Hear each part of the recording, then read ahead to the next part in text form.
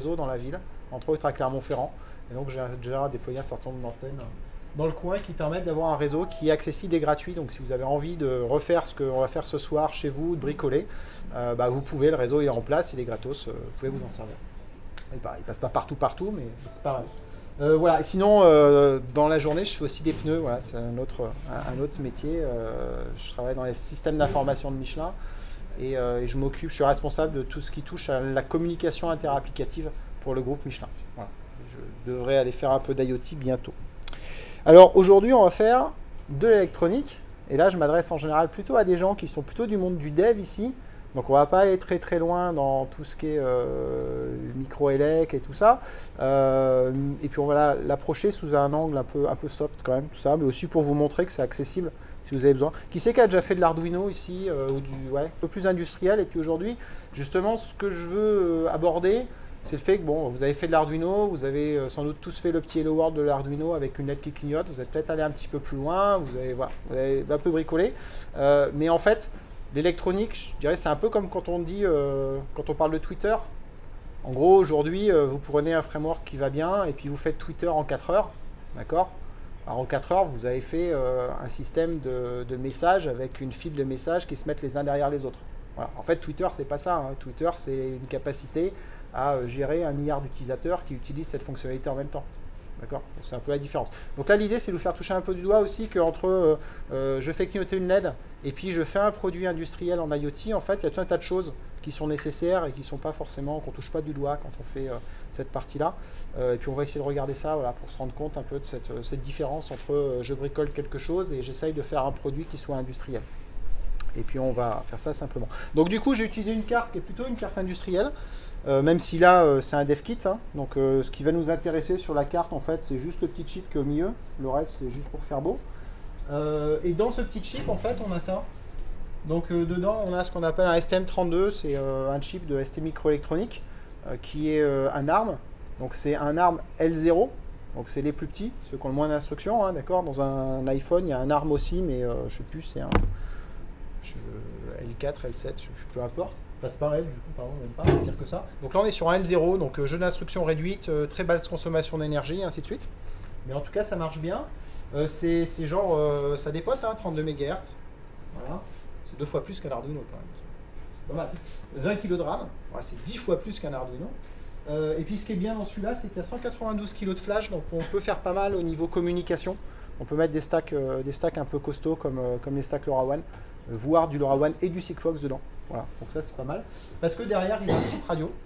Et avec ce chip radio, ben, on va pouvoir justement communiquer sur ces réseaux-là. donc voilà, donc on, a, on a ça et c'est avec ça qu'on va travailler grosso modo. Alors, hop, comment ça marche Ça passe ça Non, ça passe pas ça. Hop, escape. Revenons là.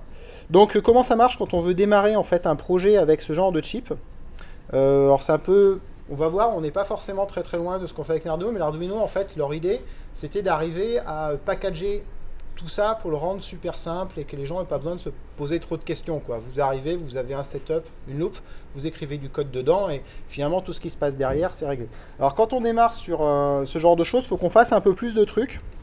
Donc on a un niveau un peu plus bas et euh, donc on a un outil qui est fourni par ST. Voilà, qui ressemble à ça. C'est juste pour montrer que ça fait un petit peu peur quelque part. Euh, et qui nous permet de faire la configuration hardware de notre système. Alors je ne vais pas rentrer dans le détail de la configuration hardware de notre système, mais nous on va faire pour commencer un truc très simple, on va faire clignoter une LED. D'accord? Histoire de faire comme tout le monde. Donc euh, la LED, il se trouve que sur cette carte, il y en a plusieurs, il y en a plein même.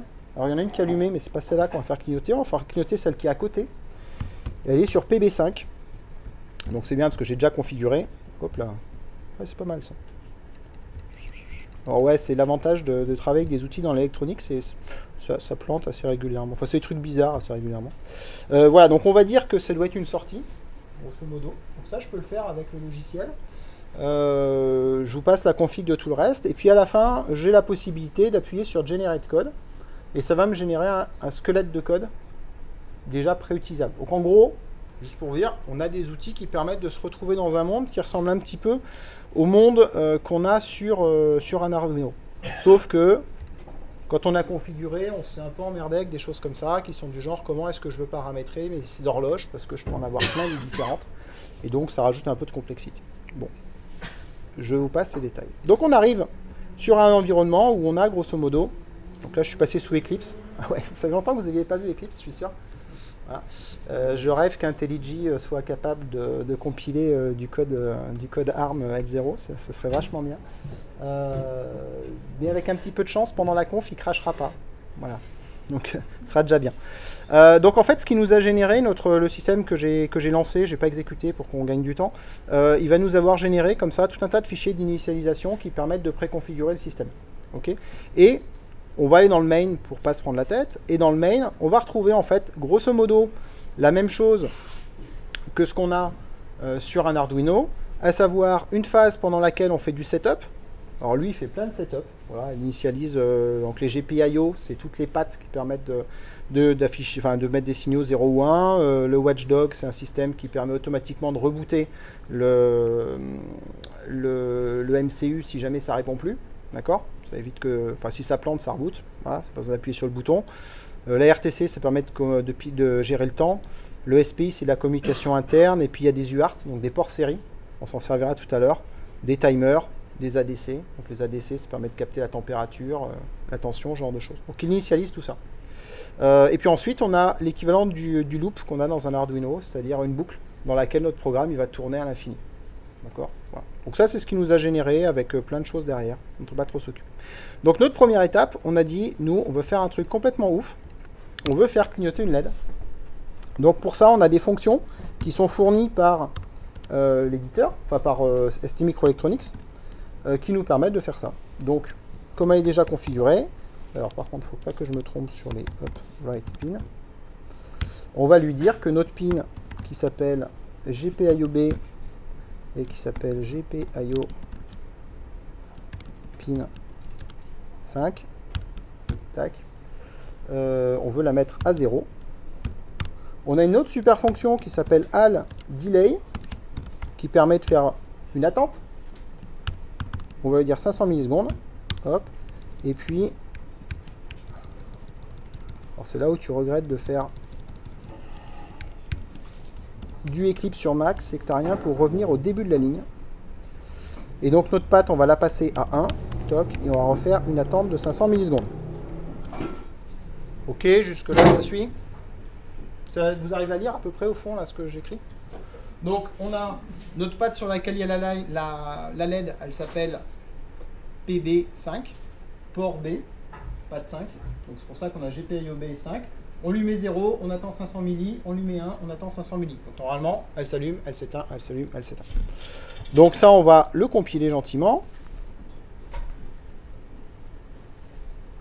Voilà. Et ensuite, on va le transférer. Donc 19h28, c'est bien ça. Et là, pour le coup, par contre, c'est pas mal ce dev kit parce que je peux la prendre. Enfin, si, non, ça va pas le faire. Je peux la prendre et la déplacer sur un disque virtuel. Et en fait, il est en train de me le programmer. C'est ce que vous voyez quand la LED clignote dans tous les sens. Voilà. Donc là, hop, ça clignote. Bah ouais, quand même, merde. C'est bien. Là, on vient en 5 minutes, on vient de faire ce que 90% des gens qui tweetent j'ai fait de l'IoT ce week-end ont fait quand même, quoi, je veux dire. Donc, euh, voilà, quand même, on a fait un truc, un truc qui était plutôt sympa. Bon, alors ça, c'est pas mal. Euh, mais euh, il y a quelques, petites limitations quand on a fait ça. La première des limitations, euh, c'est que, vous voyez, j'ai utilisé du code ici, qui est du code qui est quand même vachement propriétaire par rapport à la plateforme que j'utilise. Alors là, aujourd'hui, j'utilise un STM32 avec un Murata. Euh, Peut-être que dans un mois, euh, j'utiliserai un Nordic, donc une autre marque de, de, chip. Peut-être qu'après, je voudrais euh, être sur un Atmel, genre Atmega, donc type Arduino. Peut-être qu'encore après, je voudrais un chip TI, et ainsi de suite. Et en fait, le fait d'utiliser du code comme ça, qui est complètement lié au système que j'utilise, bah, ça va m'obliger à réécrire tous mes programmes à chaque fois. Ça, c'est un des gros problèmes qu'on a dans le monde euh, de l'électronique en général, c'est la, por- la portabilité du code. Elle est quand même relativement limitée. Donc ça, c'est un truc un petit peu chiant qu'il fallait, euh, fallait éviter. Alors après, en fait, il y a plein de choses comme ça qu'on fait tout le temps. Il faut que je reprenne euh, dans mes slides si je retrouve un truc. Hop. Il y a plein de choses comme ça qui sont un peu embêtantes. Et du coup, moi, ça m'a donné envie d'écrire un SDK qui permette de simplifier un peu la vie des développeurs euh, embarqués, euh, de façon à ce qu'on passe pas notre temps à réinventer la roue, comme c'est un petit peu le cas aujourd'hui, de façon à pouvoir être plus rapide quand on veut fabriquer un objet connecté, parce que c'est toujours les mêmes problématiques qu'on essaye de résoudre, et de façon à avoir quelque chose qui soit portable, au moins au maximum. C'est-à-dire que, je sais pas, si je fais des trackers, par exemple, ce qui est une des activités que j'ai, euh, bah, si je change de plateforme, toute la logique, entre guillemets, métier autour du tracker, bah, cette logique-là, je puisse la récupérer et la mettre sur une autre plateforme, sans avoir à tout réécrire, tout redébugger, et ainsi de suite. Et que ce soit facile à faire. Donc, c'était, euh, donc ça, c'était un des objectifs que je m'étais fixé, et pour ça, j'ai fait un SDK, et c'est ce qu'on va voir en fait par la suite, c'est euh, un peu comment marche ce SDK-là, et, euh, et, comment euh, on peut l'utiliser rapidement pour faire des objets connectés. Et comment euh, cet objet, il va, être, il va pouvoir rentrer dans un, dans un monde qui soit un peu plus industriel? Ça, c'est un monde qui est assez différent de ce point de vue-là, le, monde de l'embarqué par rapport au monde du développement. Moi, je, je, dirais je suis entre les deux mondes. Donc, je connais bien le monde du dev. Je suis aussi du code Java.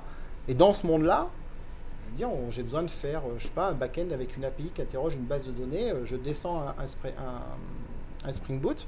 J'ai un truc qui est standard marché. Et euh, je veux dire, en une soirée, je suis capable d'avoir quelque chose qui fonctionne et qui est opérationnel. Et qui utilise les mêmes standards que tous mes copains. Donc un truc robuste.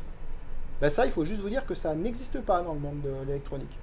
Vous avez des, fournisseurs de hardware qui ont chacun un SDK un peu tout pourri. À chaque fois que vous changez de, version de SDK, ça détruit tout ce que vous aviez fait avant.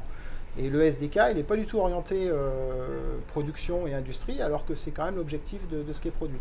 Donc en fait, chaque personne qui fait du développement en électronique se refabrique ses outils avec plus ou moins de qualité, plus ou moins d'aisance. Donc euh, donc c'est quelque chose qui moi me semblait manquer. Alors dans ce monde-là, vous dire ouais, mais quand même il y a Arduino. Alors Arduino c'est bien, mais il faut juste se dire que Arduino c'est un peu le JavaScript de l'IoT. Hein. D'accord Moi je le qualifie comme ça, mais pas le JavaScript tel qu'on le connaît aujourd'hui, parce que le JavaScript aujourd'hui c'est sérieux quand même. Voilà, un peu plus TypeScript, mais bah, globalement c'est assez sérieux. Mais là je vous parle du JavaScript tel qu'il existait dans les années 2003-2004. D'accord Où tous les mecs qui codaient en JavaScript, ils avaient moins de 18 ans, grosso modo. Okay Donc c'est un peu ça euh, Arduino. Si, vous êtes électronicien et que vous regardez le code des drivers, vous pleurez. Mais vraiment, vous pleurez. Hein. Je ne vous parle pas du code écrit dans les points H euh, ou ce genre de truc. Non, c'est vraiment euh, c'est dégueulasse. Quoi. Donc euh, du coup, c'est pas industriel pour un sou pour la plupart de, dans la plupart des cas. Donc les SDK des fondeurs de sites, vous en avez parlé. Et puis après, la blague, hein, c'est les IoT SDK qui sont fournis par des gens comme Azure, AWS et compagnie.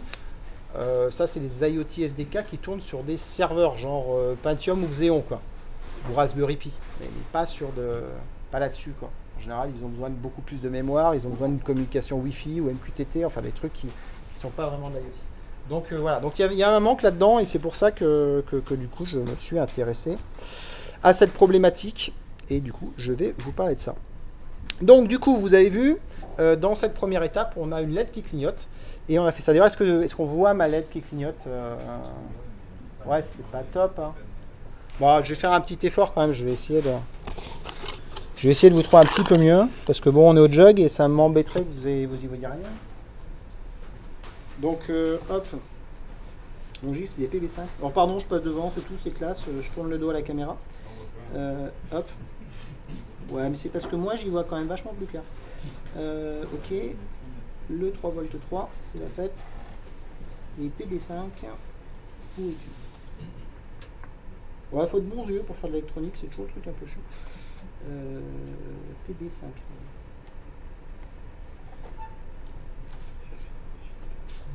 Et c'est mieux là Ouais, ouais c'est mieux là. Il y en a un qui râle au fond. Non, c'est pas terrible C'est bien parce qu'on est au jug, je vais faire un petit effort.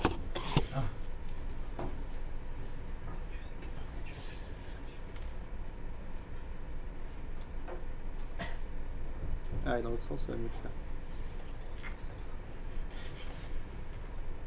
C'est mieux là? Bon, Ça, c'est la plus grosse lettre que j'ai trouvée sur, euh, sur Amazon. Hein. Ah, pas terrible Putain, c'est. C'est bien parce qu'on est au jug et qu'au jug... euh, Je veux dire, enfin voilà.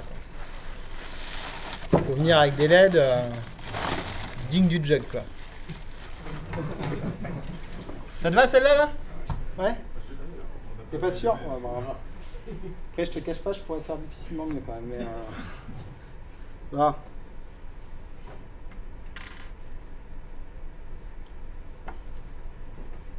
C'est bon là? Tu la vois là, elle clignote là? Ah. Donc là, on a fait une vraie lettre qui clignote là. Ouais, Pierre, euh, c'est le mieux que j'ai pu donner là. Après la soudure, euh, j'avais le wrapping, mais je garde ça pour la prochaine fois. Voilà. mais, euh, bon, alors maintenant on a une vraie LED qui clignote, on a un vrai code qui fait clignoter une LED. Maintenant on va essayer de faire un, vrai code qui fait autre chose. Il faut juste que je regarde ce que je suis censé faire. Ah oui, bah oui, je suis censé euh, utiliser mon framework. Alors, du coup, je vais passer en step 2, hop, parce que comme ça, on, s'embête un, petit peu moins. Euh, et puis, bah, du coup, on va s'intégrer ça à la main. Alors, comment ça se passe? Là, j'ai la même chose en fait. hein. Mon step 2, pour l'instant, c'est ce qu'on vient de faire en step 1. Hop, je vous ferme ça. On va se le rouvrir là. Comme ça, si jamais je m'étais trompé, c'est bon. euh, voilà. On a exactement la même chose que ce qu'on avait précédemment. Euh, donc, du coup, je vais rajouter un bout de framework dedans. Donc, pour ajouter un framework, donc le framework, il est sur GitHub. Euh, hop, pour de vrai. Hop. Donc pour ceux que ça intéresse, il est là. Il s'appelle euh, 1080, c'est euh, STM32 ITSDK. Alors ça c'est genre, je fais des nommages complètement débiles. J'ai dit je vais faire un framework qui soit pas lié à du hardware et je lui ai donné le nom du hardware sur lequel j'ai commencé. Ça, euh, voilà, tout va bien. Voilà. Donc il est là, il y a une petite notice qui vous explique comment l'installer, tout ça, tout ça. Euh, il y a des vidéos aussi qui aident un peu. Euh, mais euh, donc en gros comment ça marche, ça va être assez simple à intégrer. En fait, euh, bon, le framework est déployé dans un directory, donc ce directory je vais l'ajouter à mon projet. Donc euh, je vais créer un folder. Dans ce folder là, hop, je vais dire que c'est un folder qui en fait euh, est un lien symbolique en quelque sorte. On va aller le chercher. Qui s'appelle items 32 SDK. Hop là. Hop là. Donc là on l'a, il est ici. Avec différentes choses. Donc j'ai euh, des includes, bah on fait du C. J'ai des sources, voilà. Dans mes sources, il y a trois catégories. Des drivers, donc ça, ça va être tout un tas de composants externes, euh, bah, par exemple des drivers de communication, des capteurs de température, des GPS, enfin, genre de choses, voilà, en fonction des, des projets. Euh, il y a la couche qui s'appelle ITSDK, donc cette couche-là, c'est la couche euh, d'abstraction. Donc en fait, tout le code qui est là-dedans, il n'a aucun lien avec la plateforme hardware sur laquelle je suis. Et puis après, on a la couche qui s'appelle ici STM32 SDK, qui elle est la couche qui permet de spécifier. Donc en fait, ITSDK appelle STM32 SDK, et dans cette couche-là, on a des choses qui sont spécifiques. Ce qui fait que si jamais euh, je veux implémenter sur un, processeur euh, Texas Instruments ou Nordic Semi, et ben je vais créer d'autres répertoires euh, Nordic Semi, Texas Instruments, et puis je vais faire les, fonctions qui vont permettre, de couvrir ça. Donc il y a un certain nombre de, composants à réécrire et faire le lien avec, avec la couche basse qui est en dessous. Voilà. Mais le code que je vais écrire, lui, euh, puisque j'ai pas de raison d'aller modifier cette partie-là, le code que je vais écrire, lui, va être portable. Donc c'est ça l'objectif. Euh, donc maintenant que j'ai ces deux puis un peu de doc aussi, mais c'est pas vraiment mon fort. Euh, donc ce qu'il va falloir faire maintenant, c'est lier ça avec notre projet. Donc dans le projet, hop, les joies d'Eclipse, on va aller tout simplement dire euh, settings. On va aller dire que dans les includes, on a un include à rajouter. Alors je vais aller le chercher en me promenant, mais voilà. Donc dans STM32, j'ai le répertoire Inc. On va l'ajouter. Tac. Et ensuite, dans les general, euh, pass and symbol, on va aller rajouter les endroits où sont les sources. Add folder. Toc. Et toc. Voilà. Euh, pas encore, mais voilà. Donc là, en faisant ça, le framework est intégré à notre projet. Et, euh, et l'intérêt, en fait, c'est, je vous ai montré euh, rapidement que le projet, à la base, il n'avait pas été créé par moi, il a été créé par un outil de ST microélectronique. Et en fait, toute la complexité du truc, c'est d'arriver à rajouter des éléments tout en maintenant la possibilité de pouvoir modifier le projet initial. Parce que je peux, au moment de ma config euh, hardware, avoir oublié des horloges, avoir oublié des pattes et des choses comme ça. Et donc, je vais pouvoir revenir dans mon outil de ST, lui demander de régénérer le code, mais je ne veux pas qu'il défonce tout ce que j'ai fait manuellement. Donc, il faut que le code que j'ajoute, il puisse s'intégrer euh, dans le SDK et qu'il puisse être mis à jour sans que euh, ça vienne, euh, ça vienne perturber le code écrit et que ça crée des bugs. Donc c'est toute la difficulté. Donc en fait, j'essaye d'être le plus indépendant possible du code source qui est généré par l'outil ST Micro. maintenant que j'ai fait ça, donc pour implanter le, SDK, il faut que je rajoute des fichiers de configuration. Le SDK va être principalement basé sur des fichiers de conf. Donc je vais aller dans Inc. Hop, il faut que je crée un folder qui s'appelle IT underscore SDK. tout ça, c'est la partie un peu, un relou, là où vous me regardez euh, taper du code. Euh, voilà, et dans ce fichier-là, je vais aller récupérer un fichier de configuration, euh, un template, hop, qui est ici. Donc je vais le copier, je vais le coller, je vais le renommer.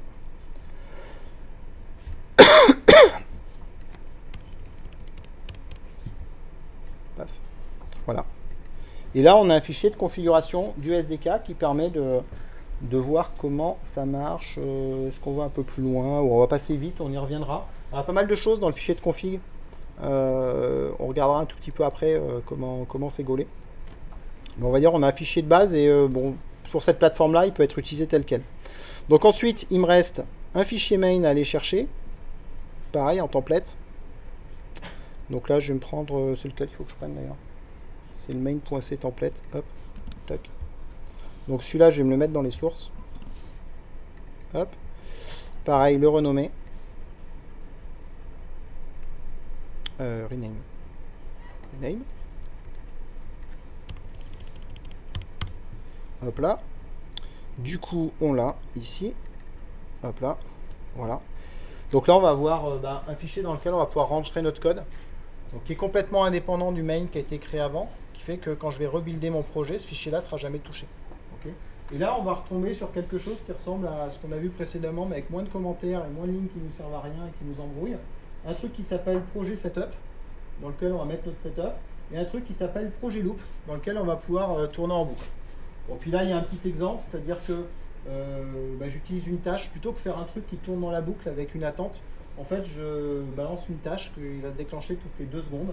Et dans cette tâche, bah, je vais afficher là, par défaut la température, la tension. Euh, voilà. Donc je crée une tâche et euh, j'enregistre. Euh, enfin, je, crée une tâche, j'enregistre. donc voilà. Et il reste un truc, c'est faire le lien entre le code qui est généré par ST et puis le SDK, de façon à ce qu'il lance le SDK. Parce que là, dans le main, si je recompile et que je lance, il va toujours faire ça. D'accord? Donc pour faire ça, j'ai deux trois petites euh, modifs à faire dans le main et après ce sera terminé pour euh, toute la config. Hop, pour trouver les modifs dans le readme.md pour pas s'embêter. Euh, il faut que j'inclue deux include. Hop, hop, hop. Et ensuite, je vais chercher, pardon, l'appel de la fonction de setup. begin, euh, non pardon, je suis pas au bon endroit là, vein, hop, user code begin, c'est celui-là, toc, et le ITSD Kaloop. Et du coup, on va enlever ça.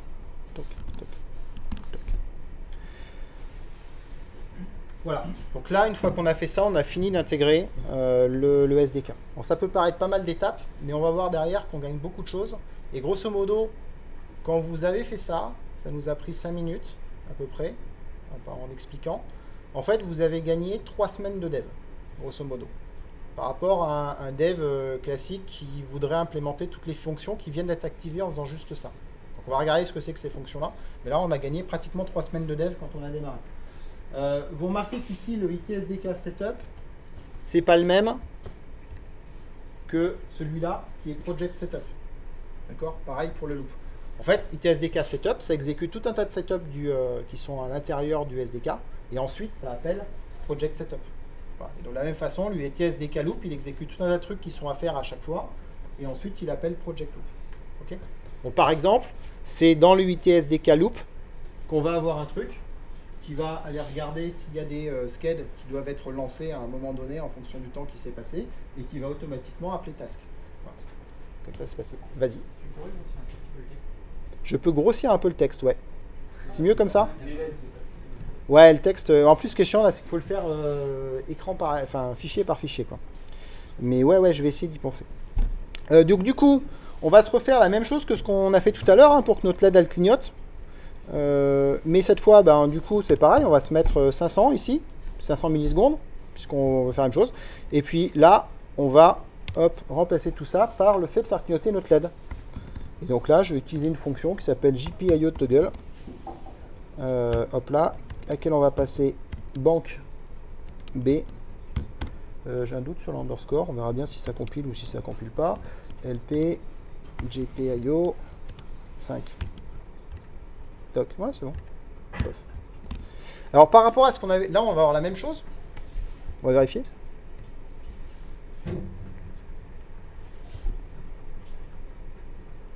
Alors forcément c'est un peu plus loin à compiler là, hein, du coup, euh, bon ça reste raisonnable.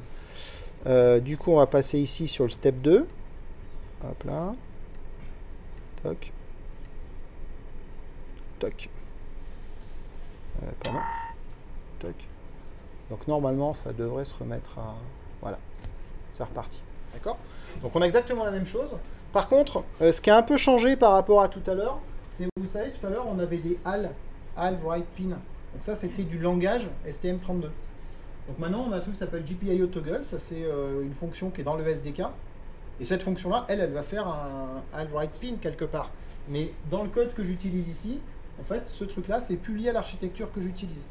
Donc euh, si je fais euh, un, si je réécris la couche euh, STM32 par une couche nordique, bah, ce même code va pouvoir fonctionner.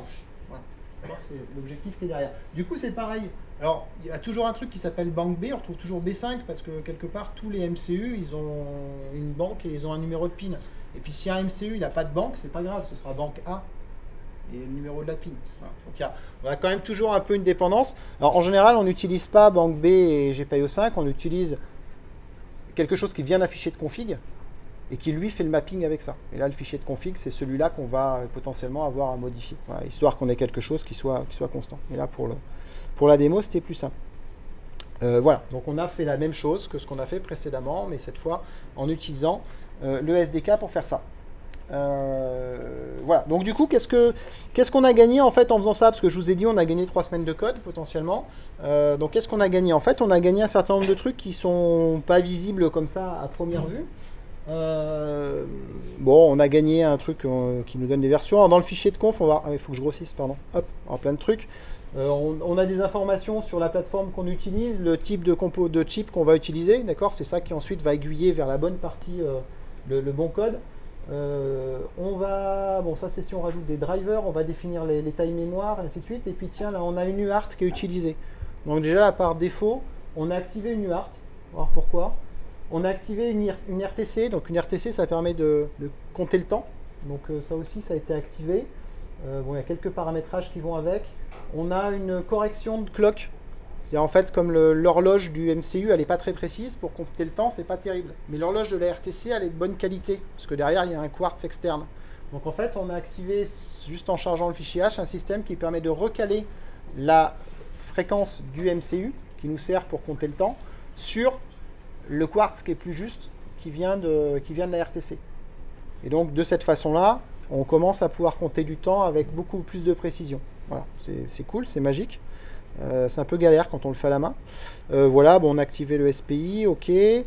Euh, voilà, tout ça c'est pas très utile. Et puis, ah, on a un logger. C'est intéressant en fait. on a un UART qui a, été, qui a été initialisé. Et puis ici, on a un logger qui a été activé.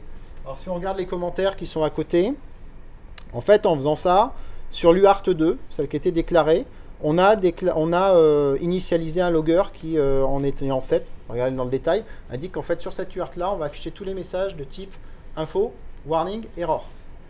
Voilà. Pas les debugs. Si j'avais mis un F à la place du 7, j'aurais le truc. Alors si on va voir un peu la console, euh, bah ouais, en effet. Ouais, normalement, Tac, on vérifie, on va voir si ça se raffiche. Pof, voilà, en effet.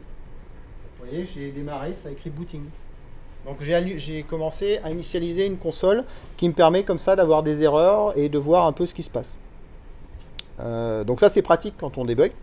Euh, et là, en l'occurrence, ce qui est intéressant, c'est qu'on peut du coup faire du filtrage avec le fichier de conf pour choisir exactement le niveau de debug qu'on veut. Donc pareil, il y a des modules internes, on peut activer ou pas activer ça. Ensuite, il y a un autre, un autre truc qui est activé qui s'appelle Error Report. Et en fait, Error Report, ça vous l'avez vu aussi rapidement, hop, c'est ce truc-là, qui ici écrit euh, info, 1, quelque chose. Alors ça paraît un peu charabia. En fait, ça, ça veut dire booting aussi. En fait, c'est quoi la différence? Quand on fait de l'IoT, quand on est en train de mettre le truc au point, c'est super, l'objet, on l'a sur notre table, et donc en temps réel, on va pouvoir lancer son code, et puis ben, voir si tout se passe bien en regardant ce qui se passe, quoi. genre le printf habituel qu'on fait pour débugger.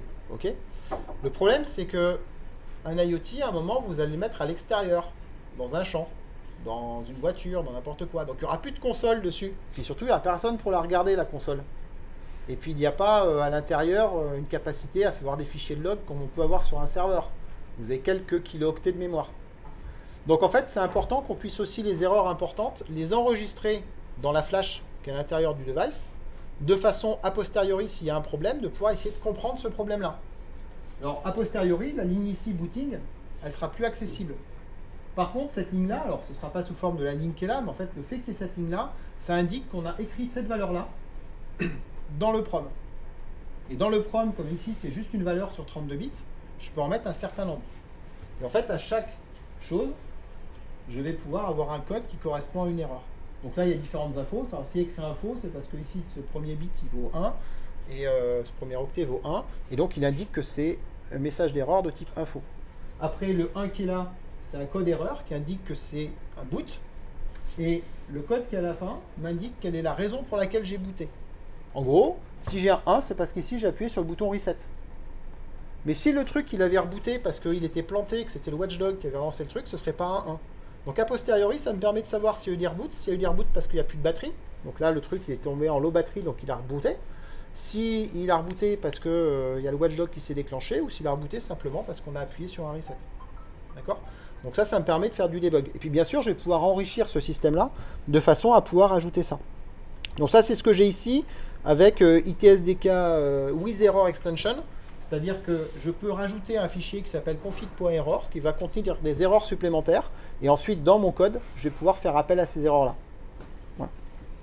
Et donc là, ça nous dit qu'on a un historique de 64 erreurs. Donc je réserve dans le prom 64 messages pour faire ça. Ensuite, ça aussi, c'est assez intéressant ce qui a été rajouté, et c'est là où on passe beaucoup de temps, c'est la gestion du low power. Parce qu'en fait, là, on ne le voit pas, mais entre le premier programme qui a été écrit et, le deuxième, et ce programme-là, en fait, l'autonomie, elle a été multipliée par euh, l'ordre de 100 000 à peu près. le premier programme, il passait son temps en boucle à allumer les LED. En, l'occurrence, comme on, a une LED qui consomme 50 milli, ce que je dis est un peu faux. Mais euh, sur le principe, avant, on avait un, CPU qui tournait tout le temps pour faire clignoter les LED. Et donc un CPU qui tourne, bah, ça consomme, euh, selon, selon la fréquence, selon le CPU et compagnie, quelques milliampères. On va dire une dizaine de milliampères. D'accord? Une dizaine de milliampères, si on a des piles qui font 2000 milliampères de capacité, ça veut dire que ça marche pendant 200 heures. 200 heures, c'est 10 jours. Donc là, vous dites un IoT, euh, c'est un truc que je dois mettre, euh, je sais pas, dans ma cave pour prendre la température. Mon dernier, mon dernier talk. Euh, Pierre, il suit plus. Je disais un IoT, c'est un truc que je vais mettre dans ma cave, par exemple, pour prendre la température, référence au dernier talk. Euh, euh, et, donc, je ne vais pas tous les 10 jours aller changer les, piles, ça va me gaver. D'accord? Je veux l'oublier pendant au moins un an avant de changer les piles. Donc, le fait d'être passé en low power, en fait, fait qu'entre deux moments où il n'a rien à faire, il va se mettre dans ce qu'on appelle un deep sleep, donc sommeil profond, pendant lequel il va consommer quelques micros ou quelques nanoampères. Et puis il va se réveiller régulièrement, il va prendre une information et à ce moment-là, il va la communiquer, à faire ce qu'il a à faire avec, et puis il va se rendormir. Et en fait, il passe 99% de son temps à pioncer. C'est l'objectif. Et donc, du coup, au lieu d'avoir changé les piles tous les 10 jours, on va changer les piles tous les 1000 jours. Et du coup, ça devient intéressant. Donc, ça, en fait, on vient de l'activer en faisant ça. Et donc là, ce que, ce que dit cette ligne de config, elle dit que euh, on est en stop mode, donc ça c'est un des modes qui permet d'économiser de l'énergie, hein, des plus pratiques. Euh, et il dit qu'on va se réveiller sur la RTC. C'est pour ça qu'avant on avait configuré cette RTC. C'est en fait c'est un, un truc qui c'est comme un radio réveil, c'est-à-dire ça affiche l'heure, mais en plus ça vous réveille régulièrement. Une heure assez désagréable en général. Euh, voilà, donc ça, donc la RTC va être initialisée et va réveiller le système de façon périodique. Donc là, en l'occurrence, bah, ce qui fait le déclenchement, on verra plus tard, la RTC, là, on a un réveil toutes les 500 millisecondes. Alors en réalité, 500 millisecondes, c'est ce qu'on va demander s'il n'y a aucune tâche à exécuter. C'est-à-dire que si j'ai des tâches qui sont exécutées toutes les 20 millis, bah, il se réveillera toutes les 20 millis. Donc 500, c'est le maxi. Donc là, on pourrait mettre 4 secondes, peu importe. Voilà, voilà. Donc on a ça, et puis après, je ne vais pas rentrer dans les détails, mais il y a pas mal de configurations euh, quand on s'endort et quand on se réveille, de façon à correctement réinitialiser les, périphériques. Et par exemple, euh, ben, quand je m'endors, faire en sorte que la LED elle continue à rester allumée, parce que sinon, euh, ça s'éteindrait assez rapidement. Donc voilà ce qu'on a. Après, on a deux trois trucs que je vais passer. On a euh, aussi la configuration qui a été activée. Donc c'est-à-dire qu'on a une gestion de, configuration du device. Donc il peut avoir un état qui est persistant. Donc je peux choisir par exemple, on va faire de la communication, donc on va choisir avoir des clés à mémoriser. Et bien ces clés-là vont pouvoir être stockées dans de la configuration et de façon persistante c'est un mauvais exemple précisément, mais c'est pas grave. Euh, donc ça, le, SDK va avoir sa configuration qui va stocker en prom, et mon application, elle peut aussi rajouter sa propre configuration, qui elle aussi va être chargée au démarrage. Donc ça aussi, c'est les mécanismes implémentés. Après ça, on en reparlera tout à l'heure. Voilà. Et puis ensuite, on arrive, euh, je pense, sur euh, l'étape suivante, qui est d'utiliser la console. Voilà. Et puis ensuite sur les couches de communication dont on va parler après. Euh, toc, toc, toc, toc, toc. Donc, euh, donc du coup, tout ça c'est bien. Je vous ai dit, il y a de la config. Euh, je vous ai dit, il y a des messages d'erreur. mais en fait, tout ce que je vous ai montré, c'est le fait que ça s'affichait dans la console ici, grosso modo. et on ne peut pas trop interagir avec. Donc ce qui est intéressant aussi, c'est d'avoir un canal qui nous permet de communiquer, nous, en tant qu'humains, avec le système pour pouvoir rentrer des informations. Et ça, ça va être super important parce que quand on rentre dans un process de fabrication industrielle, dire, tous les devices ils sortent d'une machine qui fabrique des devices, d'accord Donc euh, ils arrivent. Puis il faut les programmer. Mais quand on va les programmer, on va tous les programmer avec le même code. Donc si j'ai mis des trucs en dur dans le fichier de config, ils auront tous la même chose dans le fichier de config. Or, à un moment, je veux qu'il y ait des trucs différents dedans. Genre, euh, leur adresse, c'est pas la même, par exemple. Donc il faut que je sois capable de les spécifier. Et donc, il faut que je sois capable de changer la config. Et donc, c'est intéressant d'avoir des mécanismes qui permettent de le faire. Donc, pour ça, on va se rajouter une, console. Hop, je vais partir euh, avec ma step 3. Ah, il faut que je ferme tout là. Hop, hop. Ouais, comme ça, si j'ai si merdé, normalement, il n'y a pas de problème. Euh, hop là. Donc on revient ici, on revient dans notre fichier config.h que je vais faire regrossir. N'hésitez pas si vous avez des questions au fur et à mesure. Euh, des choses pas claires, tout ça, tout ça. Donc, on va activer une console. Euh, cette console-là, on va pas la mettre sur le même port série, on pourrait. Mais, euh, mais je vais la mettre sur un autre port série, ce sera plus simple. Donc je vais activer un deuxième port série. Donc qui est l'UART USART 1. Voilà, son petit nom. Euh, et je vais lui dire que je veux activer une console. Je vais la mettre sur l'USART 1. Voilà. Euh, est-ce que j'oublie un truc? Euh, Oui, puis il faut que je le réveille aussi parce que sinon ça le fera pas. Hop. Donc il faut qu'il puisse se réveiller au moment où je tape quelque chose sur la console. Parce que sinon, chaque fois que je vais taper, il sera en train de pioncer, donc il n'écoutera rien de ce que je dis. Voilà. Donc dans les conditions de réveil, je lui dis réveille-toi toutes les 500 millisecondes et en plus tu te réveilles si je tape quelque chose au clavier. Donc on va faire ça. Et si je me trompe, si je me suis pas trop merdé, normalement c'est suffisant.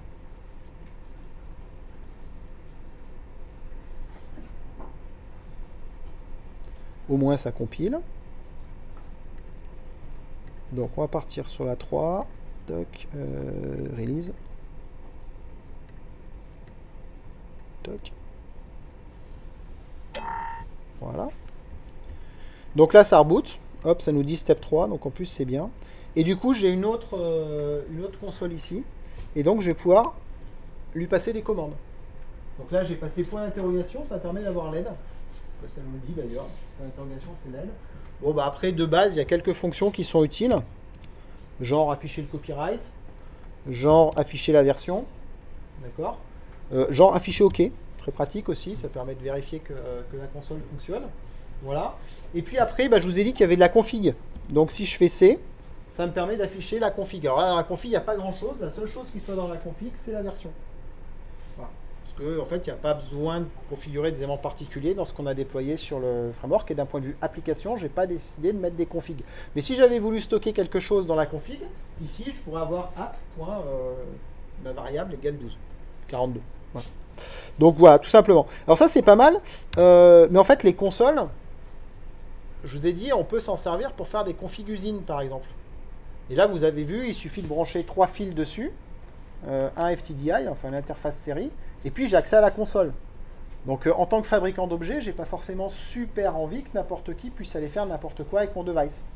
Donc du coup, j'ai une partie qui est privée et une partie qui est publique.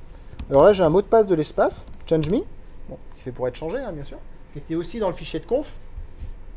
Toc. Si on revient sur la console, ici, voilà, le mot de passe de la console, il est là. Donc je peux le générer. En plus, on verra plus tard, on peut le générer euh, de façon dynamique aussi. Et protéger. Donc on a change me, donc maintenant on est logué sur une console, donc je peux refaire help, et là vous voyez on a déjà plus de choses qu'on peut faire. Donc là on est passé en mode admin sur le système. Alors ça se délogue automatiquement aussi hein, au, bout de, au bout de 5 minutes si on s'en sert rien. Euh, si on n'en sort pas, alors on peut resetter le device, on peut sortir de la console si on veut pas attendre 5 minutes pour la loquer. On peut couper le mode low power, ça ça peut être pratique des fois quand on débug de pouvoir faire ça. On peut afficher l'état d'un device. Bon là en l'occurrence il n'y a rien. Alors l'état, la config c'est un truc qui est statique en mémoire et qui va se recharger à chaque fois qu'on démarre le device. L'état, par contre, c'est quelque chose qui est dynamique, qui évolue en fonction du moment où il tourne. Donc souvent on prend la config, on la descend dans l'état au départ, quand on a besoin, et puis, euh, et puis ensuite il y a plein de choses qui vont changer. Euh, donc là en l'occurrence il n'y a rien dans l'état qui soit intéressant euh, tout de suite, donc voilà.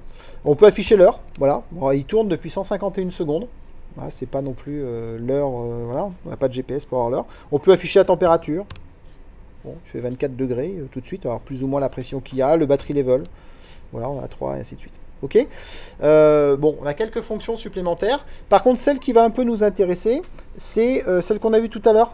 Je vous ai dit, il y a des erreurs log qui sont en mémoire. Donc si je fais un E, et bien là, je vois, vous vous rappelez tout à l'heure, on a eu un certain nombre de reboots. Ces boots, ils ont été écrits en mémoire, et donc ils sont consultables a posteriori. Donc là, je peux savoir euh, bah, que voilà, j'ai eu des reboots, et ainsi de suite. alors, ça sert à rien de mettre l'heure, on met pas le temps. C'est vrai qu'on se dit ça, c'est quand même bien de savoir quand est-ce que ça s'est passé, mais je vous rappelle, le temps il est à zéro à chaque fois qu'on reboot. Donc euh, là, typiquement, ça afficherait zéro à chaque fois. Bon, des fois, sur certains cas, ça peut être intéressant, mais dans ce cas, dans l'erreur spécifique que vous générez, quand on peut mettre un paramètre, vous mettez le temps à l'intérieur si vous en avez envie.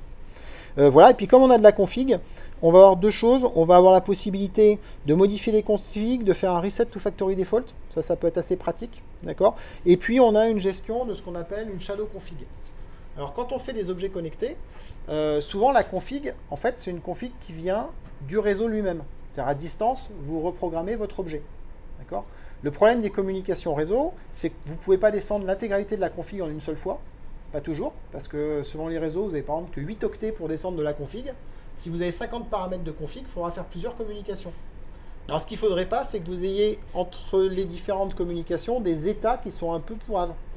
Donc on a toujours on gère deux configs, la config qui est en route et la config dite shadow, donc qui en fait est la config temporaire, on va dire, où on a stocké les états. Et quand la config est la shadow, enfin complètement configurée, dans ce cas, on fait un commit.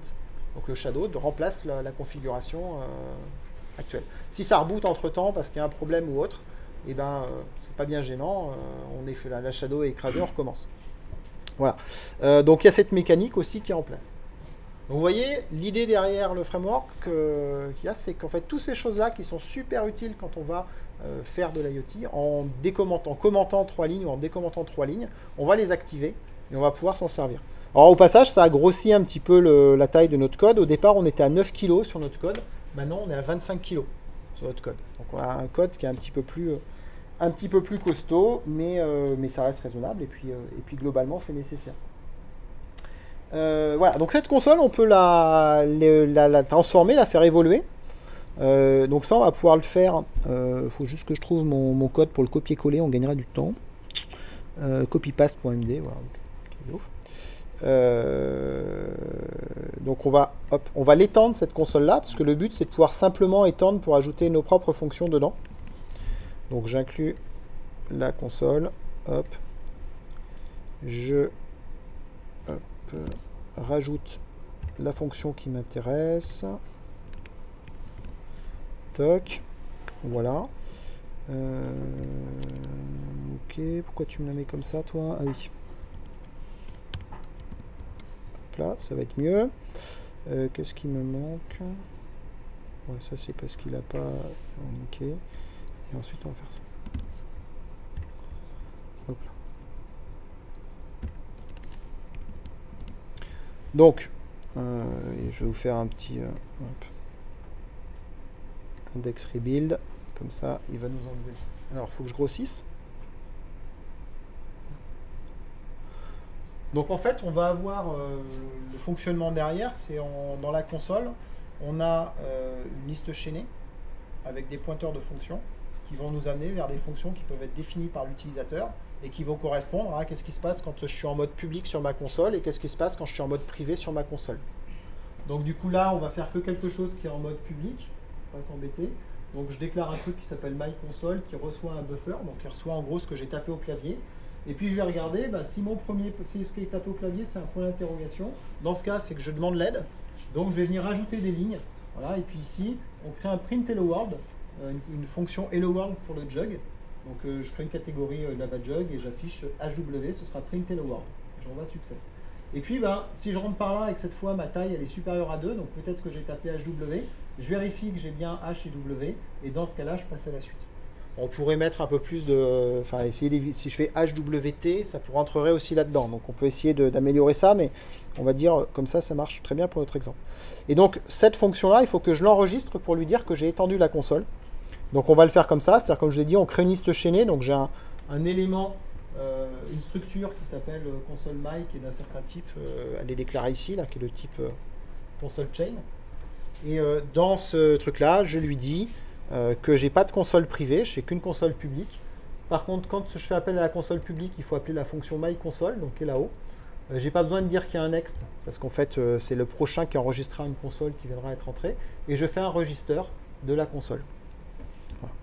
Ok. Donc on peut se recompiler ça. Ah. Euh, Qu'est-ce que j'ai foutu? Ah ouais.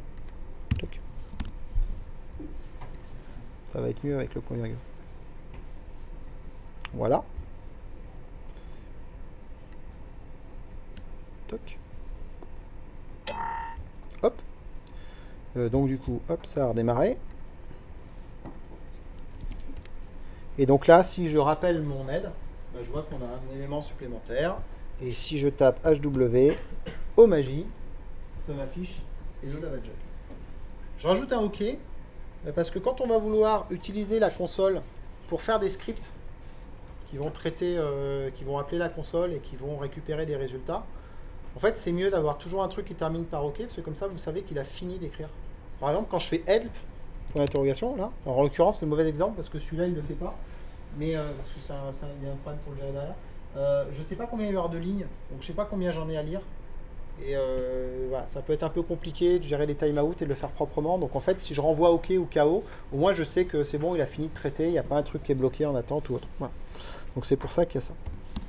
Petite bonne pratique. Bon voilà, on a étendu notre console. C'est beau Donc là, jusque-là, on a fait un peu de, d'électronique, mais on n'a pas vraiment fait de l'IoT parce qu'il n'y a rien qui est connecté. Donc maintenant, ce qu'il faudrait, c'est qu'on rajoute de la communication là-dessus.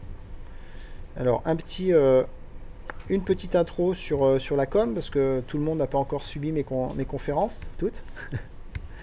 Donc, euh, vous n'êtes pas tous, vous n'êtes pas tous au fait de ce que sont Sigfox et Laura. Qui connaît Sigfox? Ouais, c'est cool. Je fais, je, fais, je, du- je bosse bien quand même. Qui connaît euh, LoRaWAN Un petit peu moins. Bon, bah, on va parler LoRaWAN euh, aujourd'hui un peu plus. Euh, donc, Sigfox et LoRaWAN, c'est ce qu'on appelle des LPWA, Low Power Wide Area Network. Je sais pas pourquoi il y a un mec qui a pas mis le N à la fin. Euh, et donc, c'est des réseaux qui permettent de communiquer très loin avec très peu d'énergie. C'est tout le concept. Encore une fois, dans l'idée, euh, je veux pouvoir euh, avoir des capteurs qui fonctionnent pendant plusieurs mois, plusieurs années. Alors, ces deux boîtes qui, à l'origine, euh, sont, enfin, deux technologies qui sont françaises. Ça, c'est le truc que j'aime bien rappeler parce que c'est quand même sympa. C'est un peu comme le Minitel, quand même. Je veux dire, on l'a inventé. Alors, on espère que ça aura un meilleur succès. Euh, donc Sigfox c'est né à Toulouse en 2009, Laura c'est né à Grenoble en 2009. Donc après, à peu- après en même temps, euh, enfin c'est arrivé à peu près en même temps. Euh, donc Sigfox s'est positionné avec sa technologie comme un opérateur. Donc ils ont à la fois la techno et à la fois le réseau.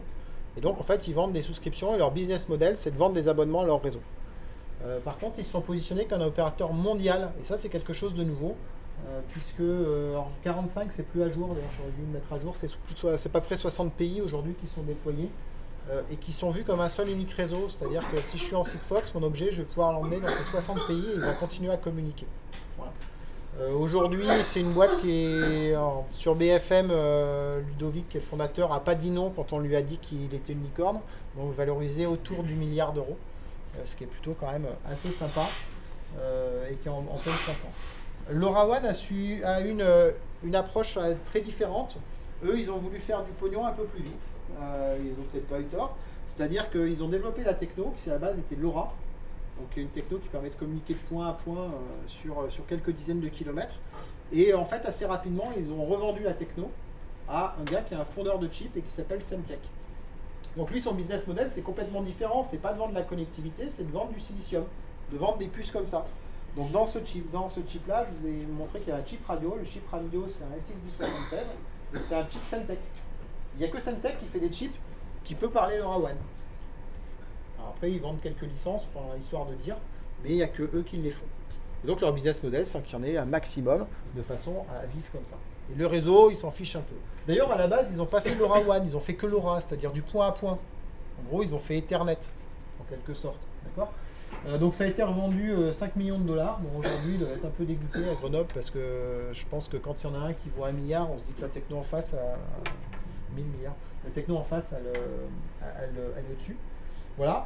Et euh, la partie réseau, en fait, elle est à charge à être déployée par des opérateurs télécoms. Alors ça, c'est tout le problème. C'est en fait LoRaWAN est né un peu d'une réponse à Sigfox, genre euh, Orange, mais qu'est-ce que tu... Ah oui, c'est question, il y a des trucs... euh, Alors, SFR, SFR qui dit, mais qu'est-ce que c'est que... Qu'est-ce que c'est que ce bazar Sigfox est en train de... On parle que d'eux, ils sont en train de faire l'Internet des objets, c'est la révolution de demain, et nous, vous êtes où, quoi? On fait quoi? Eh ben, on fait rien en fait, on attend la 5G, mais la 5G ça va arriver en 2030, euh, donc on est un peu comme des cons là. Ah, Qu'est-ce qu'il y a d'autre sur la table? Ah bah il y a LoRa. LoRa ça peut être pas mal, on peut en faire quelque chose, il faudrait rajouter la couche réseau. C'est-à-dire qu'il faudrait passer de Ethernet à IP. Et donc ça c'est LoRa One. D'accord? D'une certaine façon. C'est un peu faux ce que je suis en train de dire, mais, mais on va le schématiser comme ça. Et donc LoRaWAN, c'est une surcouche qui permet d'aller faire de la communication réseau par-dessus euh, cette stack LoRa. Ça, ça explique que euh, la stack LoRaWAN, elle est un peu plus gourmande en mémoire, par exemple, parce que ben, comme le truc n'était pas nativement fait pour, euh, ils ont dû rajouter pas mal de soft dedans. Mais malgré tout, c'est intéressant. Du coup, ça doit être déployé par des opérateurs. Donc Orange, Free, SFR et compagnie. Et ces opérateurs-là, ils sont un peu trop nationaux. Donc en fait, LoRaWAN, on va en trouver, mais on va en trouver à des échelles locales. En France, on a deux réseaux LoRaWAN. C'est un truc de malade, on est les seuls au monde quoi. Euh, à avoir du réseau LoRaWAN. Voilà, on a deux, quand même cool. Euh, voilà. Après, il y a cinq pays à peu près qui ont déployé le truc et encore, on ne sait pas trop. Et il y a plus grand monde qui en déploie au niveau, euh, au niveau public et global. Donc c'est pas une super réussite de ce point de vue-là. Par contre, il y a deux éléments de réussite qui sont vachement intéressants dans cette techno. La première, c'est que ça peut se déployer localement. Comme Semtech qui veulent vendre du chip, eux, ils ont tout intérêt à ce que vous déployiez votre propre réseau. Donc, du coup, vous pouvez installer votre réseau LoRaWAN dans vos entreprises, chez vous, et ainsi de suite. D'accord? Donc, ça, c'est euh, vachement intéressant. Puis, ça, on peut le déployer, ça coûte pas très cher. Voilà. Euh, et puis, du coup, bah, il y a une bande de fous qui s'est dit mais puisque euh, on peut le déployer gratuitement, pourquoi on ne ferait pas un réseau gratuit? Et un réseau gratuit qui soit accessible à tout le monde, qui, qui soit financé par le fait que des individus vont aller euh, déployer des antennes chez eux. Un peu sur le principe du monde libre. C'est-à-dire que tout ce que eux produisent, ils le produisent en open source. Et puis, là, on parle plutôt de crowdsourcing, c'est-à-dire que des individus qui croient un peu dans le truc vont monter des antennes et vont offrir le réseau aux autres. Et donc, on commence à avoir un réseau qui, pour le coup, est mondial, du coup, qui s'appelle The Things Network, et qui permet de connecter les objets et de les faire euh, dialoguer un peu partout. Alors, dans une architecture euh, de type LP1, on retrouve à peu près toujours la même chose. Ça est valable pour NB-IoT, pour Sigfox, pour euh, LoRaWAN. On va avoir des antennes, donc qui font partie d'un réseau. On va avoir, pardon, des antennes qui font partie d'un réseau, des devices qui vont communiquer avec ces antennes, une ou plusieurs. Et il va falloir remonter les informations vers ce qu'on appelle un cœur de réseau. Parce que les antennes, il y en a plein. Et un device, quand il va communiquer, il va être écouté par plusieurs antennes. Donc rien que pour ça, il faut être capable de recroiser les informations pour éviter de renvoyer 15 fois la même information à un système qui est derrière. D'accord? Donc ça, c'est un des rôles du cœur de réseau. Puis il y a un autre rôle, c'est que pour arriver à économiser de la bande passante, parce que ce que je ne vous ai pas dit, c'est que ça communique très loin avec peu d'énergie, mais il y a quand même un mais à ça, mais ça communique tout doucement. D'accord? Avec des toutes petites trames. Donc comme ça va pas vite, il faut qu'on optimise. Un moyen d'optimiser, c'est de se simplifier un peu la vie en réduisant la taille des entêtes et en mettant pas émetteur, destinataire. En fait, si on met émetteur uniquement, et que dans cette partie-là, on a un truc qui est capable de retrouver le destinataire, bah, en gros, on est en train de faire du natting, si je résume un peu ce truc-là. D'accord? Et donc, comme ça, on peut avoir des objets qui communiquent avec un cœur de réseau, et un cœur de réseau qui, en fonction de l'objet, sait vers quel service le renvoyer. Donc ça, c'est une autre fonction du cœur de réseau. Après, il a plusieurs fonctions, hein, mais c'est celle qu'on va voir. Donc, qu'est-ce que c'est que The Sync Network? C'est à la base que les gens qui font The Network produisent, c'est un cœur de réseau. Un système qui permet de gérer des, antennes, qui permet d'enregistrer les devices et qui permet de retrouver, quand un device s'émet, vers qui il faut router l'information. Ça, c'est un cœur de réseau, c'est The Network. Ensuite, The Sync Network, qui dit aux gens, branchez vos antennes sur mon cœur de réseau. Et ensemble, on va faire un super réseau euh, qui va couvrir le monde entier. Euh, voilà. Alors, pour vous donner quelques infos rapides sur comment marche euh, LoRaWAN, donc ça communique sur des bandes libres, ce qui est différent d'un téléphone euh, cellulaire. Lui communique sur des bandes qui sont privées. Elles appartiennent aux opérateurs. Si vous vous rappelez, aux années 2000, on a vendu la 4G à des milliards d'euros à, Orange, Bouygues, Free et tout ça. D'accord? Enfin, Free un peu moins cher, ce qu'on a vendu après. Euh, là, la différence, c'est qu'on travaille sur des bandes qui sont des bandes libres. En gros, c'est la bande qu'utilise votre télécommande de garage, 800 MHz. D'accord? L'alarme qu'on a à la maison, euh, tous ces trucs-là, la station météo qu'on a à la maison, qui communique en radio, ça utilise ces bandes-là. Le Wi-Fi, c'est aussi une bande libre. C'est du 2 Go 4, c'est une bande qui est libre partout. Donc là, c'est utilise le 868 parce que c'est une bande qui permet une bonne portée, qui n'a pas trop de bruit et qui permet une pénétration dans les euh, bâtiments qui est assez bonne. Donc c'est une bande qui va bien. Mais cette bande-là, c'est pas la même partout. En Europe, c'est 868, aux États-Unis, c'est 902, en Asie, celui-là, pareil, c'est pas à jour, on utilise plutôt 915 maintenant en Asie. Donc on a des bandes qui sont différentes. C'est un peu une, problématique qu'on a gérée. Je vous ai dit que ça consommait peu d'énergie et que ça portait loin. Donc quand on est sur du LoRa, la portée c'est 10 à 15 km, grosso modo. Et la puissance qu'on utilise, donc 14 dB, ça, ça vous dit rien, mais 14 dB, c'est 25 milliwatts. Pour vous donner une idée. Donc un téléphone comme ça, c'est 2 watts. Donc ce truc-là va communiquer à 15 km avec 25 milliwatts. D'accord? Votre Wi-Fi, c'est 300 milliwatts. Pour, comparer un peu. Le débit, il est bidirectionnel, donc on peut émettre et recevoir des informations. Par contre, c'est asymétrique, un peu comme la DSL, mais dans l'autre sens. Euh, on va avoir des débits de l'espace, 250 bits par seconde, d'accord? Voire, et ça c'est pas mal sur LoRa, on peut monter à 5,4 kilobits par seconde. pas mal. Euh, voilà. On va pouvoir envoyer des trames qui font entre 51 et 222 octets. Et on va avoir une contrainte qui est liée au fait qu'on utilise des bandes libres. C'est que comme on utilise des bandes qui sont partagées, il bah, faut qu'on soit un peu respectueux de la bande partagée. Parce que s'il y en a un qui parle tout le temps, personne ne parle. Donc c'est un peu relou.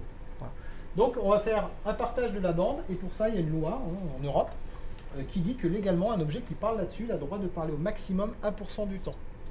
Donc si je parle pendant 36 euh, secondes, je dois me taire pendant toute l'heure qui suit. Voilà ce que ça veut dire, grosso modo. Après, je peux parler 3 euh, secondes, plus 3 secondes, plus 3 secondes, plus 3 secondes, d'accord Mais globalement, sur une heure euh, tournante, je dois utiliser au maximum 1% du temps. Donc ça, ça va être une contrainte dans le design et dans ce qu'on peut faire derrière. Voilà. Donc là, en fait, comment ça va marcher dans LoRaWAN C'est la stack qui va gérer ça. À chaque fois que j'essaye d'émettre, si je n'ai pas respecté mon duty cycle, il va m'empêcher d'émettre. Donc il va me renvoyer une erreur en me disant non, tu n'as pas le droit. Tu n'as pas respecté le duty cycle. Donc il faudra que j'attende et que je remette. Ça peut poser quelques problèmes dans, certains cas. Euh, voilà. Qu'est-ce que je vous dis Donc euh, LoRaWAN, je vous ai dit, c'est une surcouche réseau. Donc cette surcouche réseau dans LoRaWAN, elle définit plusieurs choses. Elle définit déjà des canaux d'appel, parce qu'elle définit une notion d'enregistrement sur le réseau. C'est-à-dire qu'en LoRaWAN, on a besoin de se connecter. On a besoin de dire euh, je voudrais parler sur le réseau. Donc ça, c'est une phase pendant laquelle on va négocier des clés de chiffrement pour la session. Et une fois qu'on a ces clés-là et qu'on a enregistré sur le réseau, on va pouvoir parler. Après, on peut rester euh, connecté au réseau pendant 10 jours euh, sans, avoir besoin de se reconnecter. D'accord? C'est pas un truc qu'on fait, même si on a perdu, même si on était hors zone, ça peut continuer à marcher. Donc du coup, euh, il faut qu'on se connecte une première fois. Et donc, pour se connecter une première fois, il faut des canaux pour parler qui soient connus, une fréquence sur laquelle il y a des gens qui écoutent. Donc, il y a trois canaux qui sont définis, qui sont les canaux sur lesquels on peut faire un join. Euh, ça, c'est pour ceux qui auraient fait de la CB ou un truc comme ça. Il y avait pareil, il y a des canaux sur lesquels on pouvait parler pour euh, dire Allez, je suis là, est-ce que machin est là Et puis, euh, si tu trouves la personne, après, tu changes de canal pour éviter d'embouser le canal d'appel pour aller discuter. Donc là, c'est le même principe. On a trois canaux et on est censé ensuite plutôt aller sur d'autres canaux.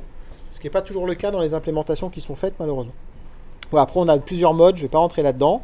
Et au niveau confidentialité, donc comme je vous ai dit, il y a un système de chiffrement, on en reparlera parce que euh, j'en ai une confiance quand même assez mitigée dans ce truc-là. Je vous expliquerai pourquoi. Euh, mais c'est quand même mieux que rien. Voilà, un système qui protège un peu de l'échange euh, qui est fait à ce moment-là. Avec deux choses. De la signature, donc qui permet de nous assurer que celui qui a envoyé le message est bien celui qui prétend. Et du chiffrement qui permet de brouiller les données qui sont envoyées. Alors, je vous ai dit LoRaWAN, TTN, The Thing Network, et implémentation à Clermont-Ferrand. Donc grosso modo aujourd'hui, qu'est-ce qu'on a sur Clermont-Ferrand? Ben, On a un certain nombre d'antennes qui sont connectées. Donc ça par exemple c'est l'antenne au-dessus de chez moi, pour vous montrer à quoi ça ressemble. Euh, et donc ils vont couvrir. Donc euh, ben là on a une antenne qui est déployée sur un site Michelin. Euh, là c'est l'antenne qui est chez moi. Là c'est Perfect Memory qui nous a gentiment prêté un bout de toit. Voilà, alors je cherche des points hauts. D'ailleurs pas mal dans ce coin-là, là, si vous avez par là.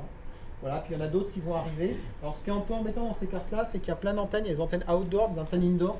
Euh, Celle-ci, par exemple, c'est une antenne euh, indoor pour l'instant chez Exotic System. Donc sa portée, elle est, vraiment nulle. Quand ils vont la monter sur le toit, elle va devenir très bonne. C'est une des grosses limites de TTN, c'est que beaucoup de gens ont des antennes chez eux. Et euh, en gros, la portée d'une antenne qui est indoor chez vous, c'est 100 mètres autour de chez vous, voire 200-300 mètres autour de chez vous. Après, on a des cas un peu particuliers. Ça, c'est une antenne qui est sur l'IUT. Alors en fait, elle est rigolote parce que comme elle est dans un coin à côté d'une fenêtre, dans la direction de la fenêtre, comme l'IUT en hauteur, elle porte super loin, donc on a des, très bonnes couvertures par là, mais uniquement sur ce coin-là. Voilà, parce que là après c'est le bâtiment, donc ça, ça passe plus.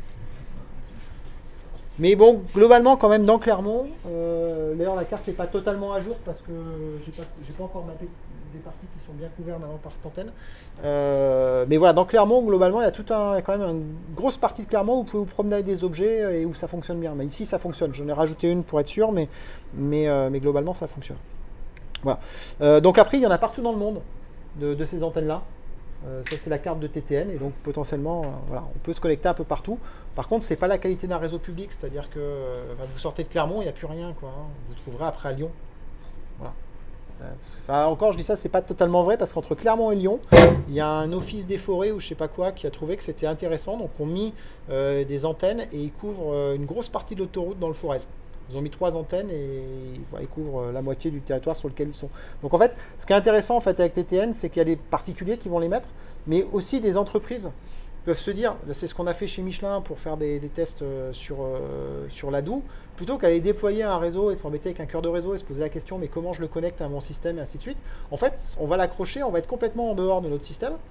Donc il n'y a aucun lien avec le réseau Michelin, on va être sur une clé 4G et avec une antenne qui est posée dans un coin, et on a étendu la couverture de TTN. Et donc à partir de là, on peut commencer à faire des tests avec des objets euh, localement et apprendre. Et après, on se pose la question de savoir si on veut gérer notre propre cœur de réseau ou pas. Mais, euh, mais en tout cas, on peut apprendre comme ça assez, euh, assez facilement. Donc, l'étape suivante. L'étape suivante, c'est s'ajouter de la connectivité. Donc, on va passer au step 5, euh, 4, pardon. Il, y a, il y a 5 steps au total. Le sixième n'est pas un vrai step, c'est la fin du 5. Euh, pour ceux qui ont faim. Euh, du coup, du coup, du coup, on va se rajouter de la connectivité. Alors, pour se rajouter de la connectivité, on va faire ça assez simplement. On va refaire un peu comme tout à l'heure. On va aller chercher un template qui est le config LoRaWAN.template et on va se l'ajouter. Alors, il faut que je ferme tout ça, sinon je serai à cheval sur deux projets. Euh, donc, on va chercher un template. On va se le rajouter là. Hop, hop, hop. Et on va le renommer.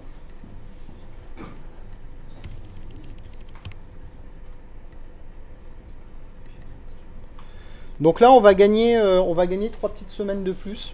hein, parce, que, parce que intégrer une stack LoRaWAN euh, et la faire fonctionner à, partir des SDK qui sont fournis par les fondeurs, euh, pour le faire proprement, ça, vous pouvez passer de.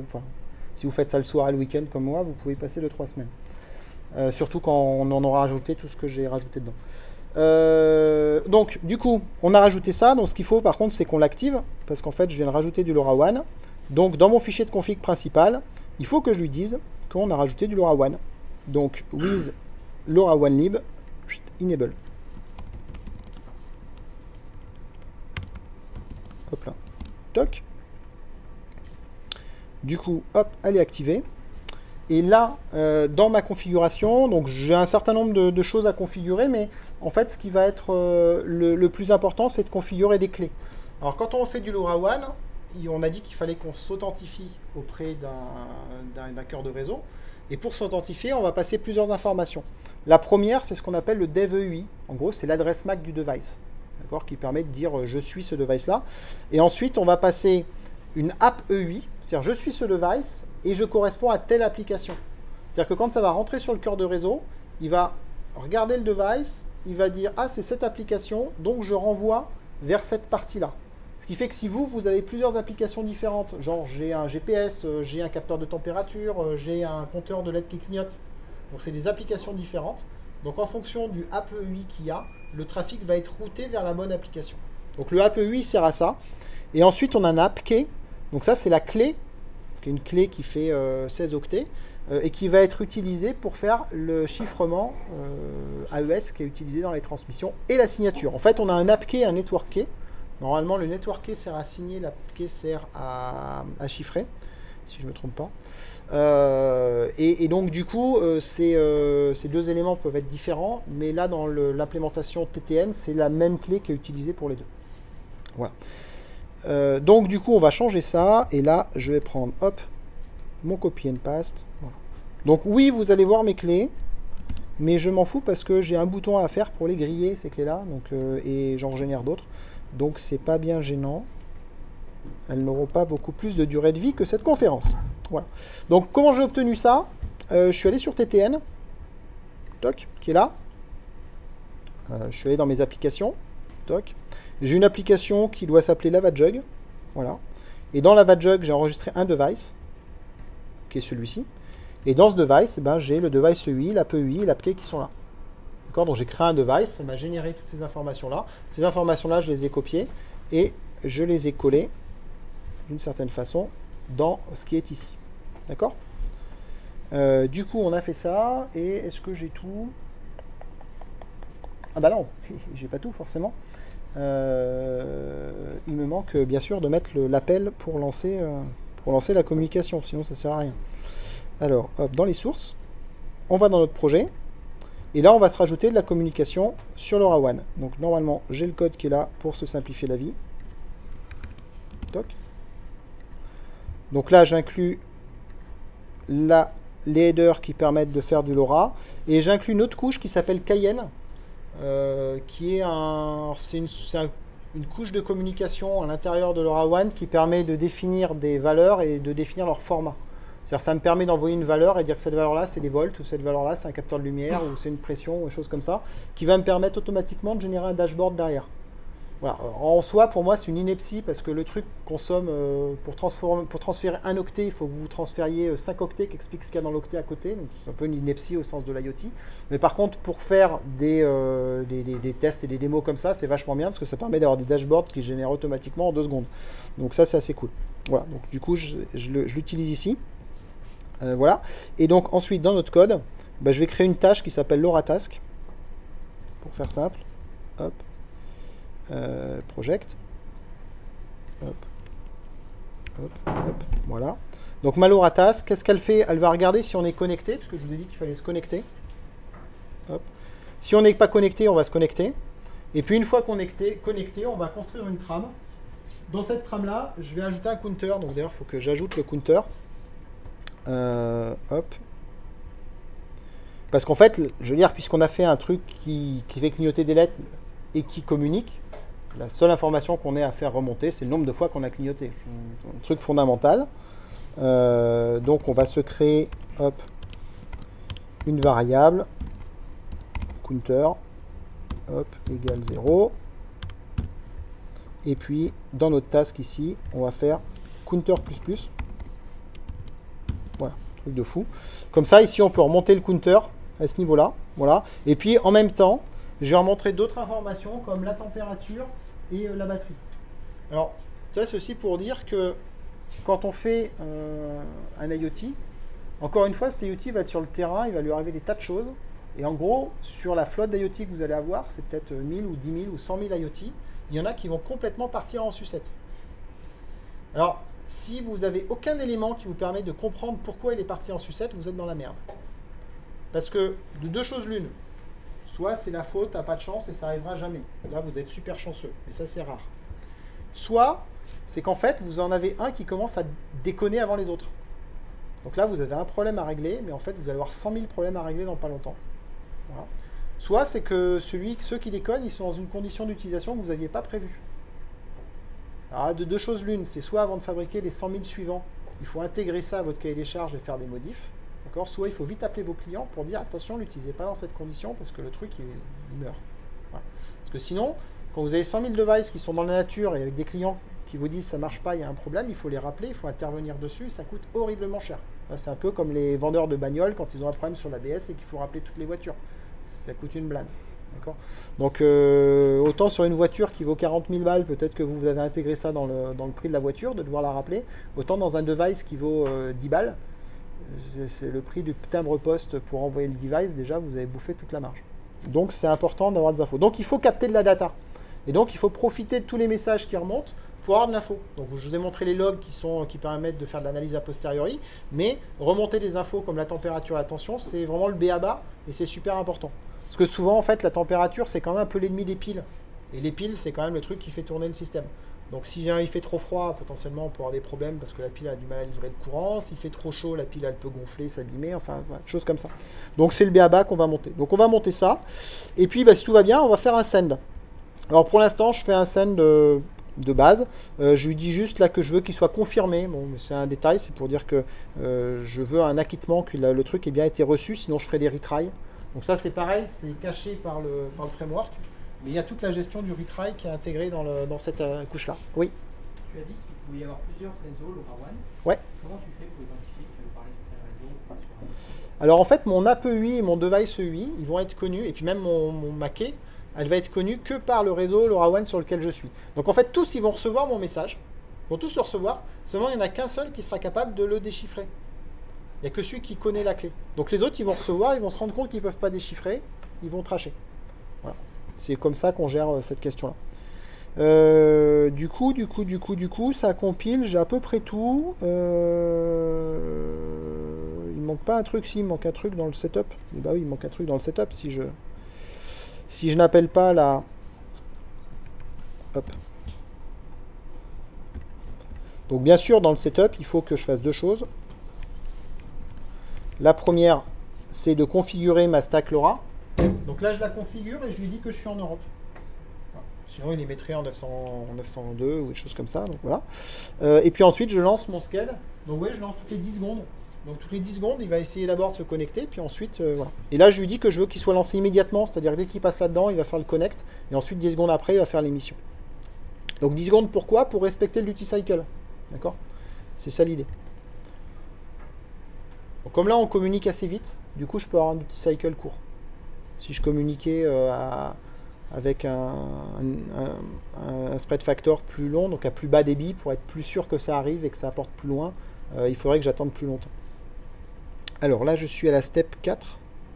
Toc. Toc. Toc. Toc. Donc on va le programmer. Donc là, il devrait booter. Normalement. Voilà. Euh... J'ai un petit doute là parce que j'ai pris un warn. euh,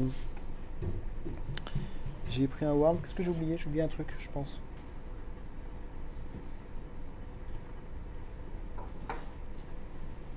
Ouais. Ouais. J'ai oublié un truc. J'ai oublié un truc dans config.h. Hop, pardon. Euh, il faut que j'active la stack LoRa. Elle utilise elle aussi des, euh, des tâches. Enfin, J'ai créé une tâche pour faire ça, pardon. Et donc, euh, il faut que j'augmente le nombre de tâches. Hop là, voilà. Scheduler task, comme j'en ai fait une deuxième, il faut que je la rajoute.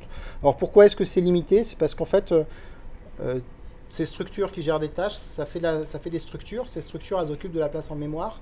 Et dans ce chip-là, vous avez vu, il y a 20 kg de mémoire. Alors celui-là, on est large avec 20 kg, mais c'est quand même pas beaucoup. Et le framework, le SDK, il doit pouvoir aussi marcher sur des composants qui ont quelques centaines d'octets de mémoire.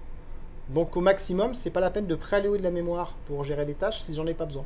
Donc là, j'en ai alloué une par défaut, mais euh, sinon, euh, voilà, il faut que je l'augmente. Euh, du coup, vous voyez que là, j'avais un message warn qui m'indiquait que j'avais pas pu démarrer une tâche. Donc si j'ai ce genre de truc, je peux le relire à, la suite. Voilà, donc du coup, hop, on l'a là, on le renvoie.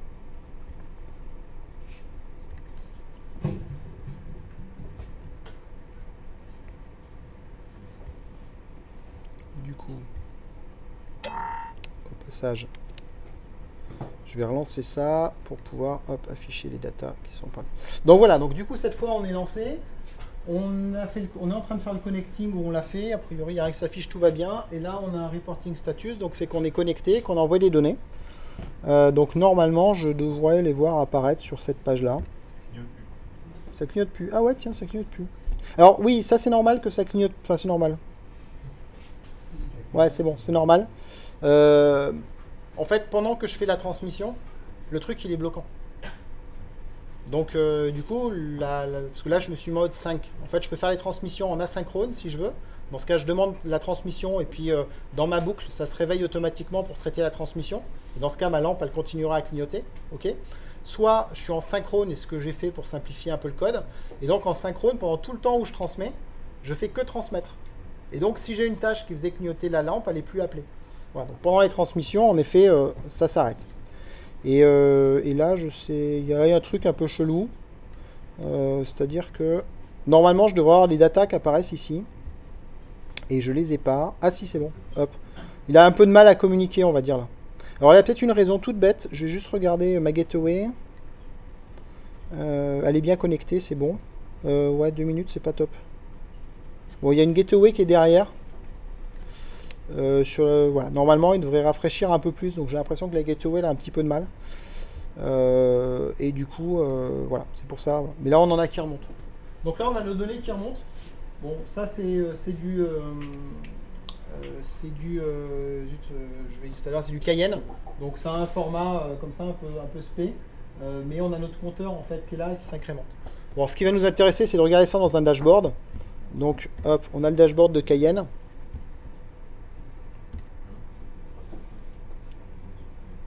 Hop là. Voilà. Et donc voilà, on a ça qui apparaît. Donc ici, on a notre nombre de blinks. Voilà. Donc au fur et à mesure, il va augmenter. Euh, voilà, les viennent se rafraîchir. Donc on c'est l'inverse en fait, il vient de, de diminuer. La température, la tension qu'on a. Et puis ici, on a des informations sur la, qualité de la réception.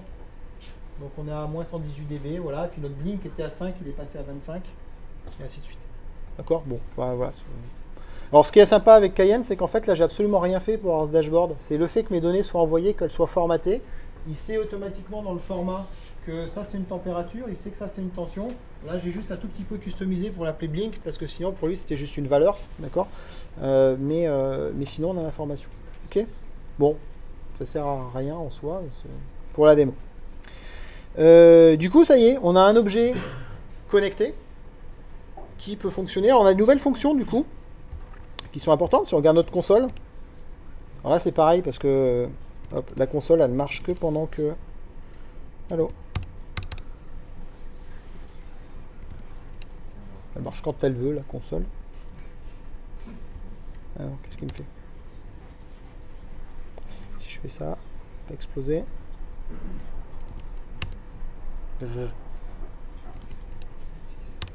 Bon, elle est pas sympa la console avec moi.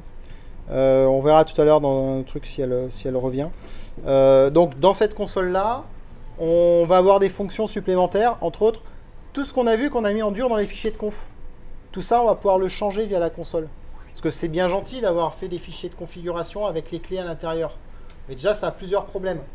Déjà, ça fait des fichiers de texte sauvés dans un coin qui vont avoir des clés qui sont des clés qui sont des clés de sécurité. Donc euh, c'est quand même complètement con de stocker ça sur un GitHub ou autre. Donc déjà, ça, c'est pas une bonne idée.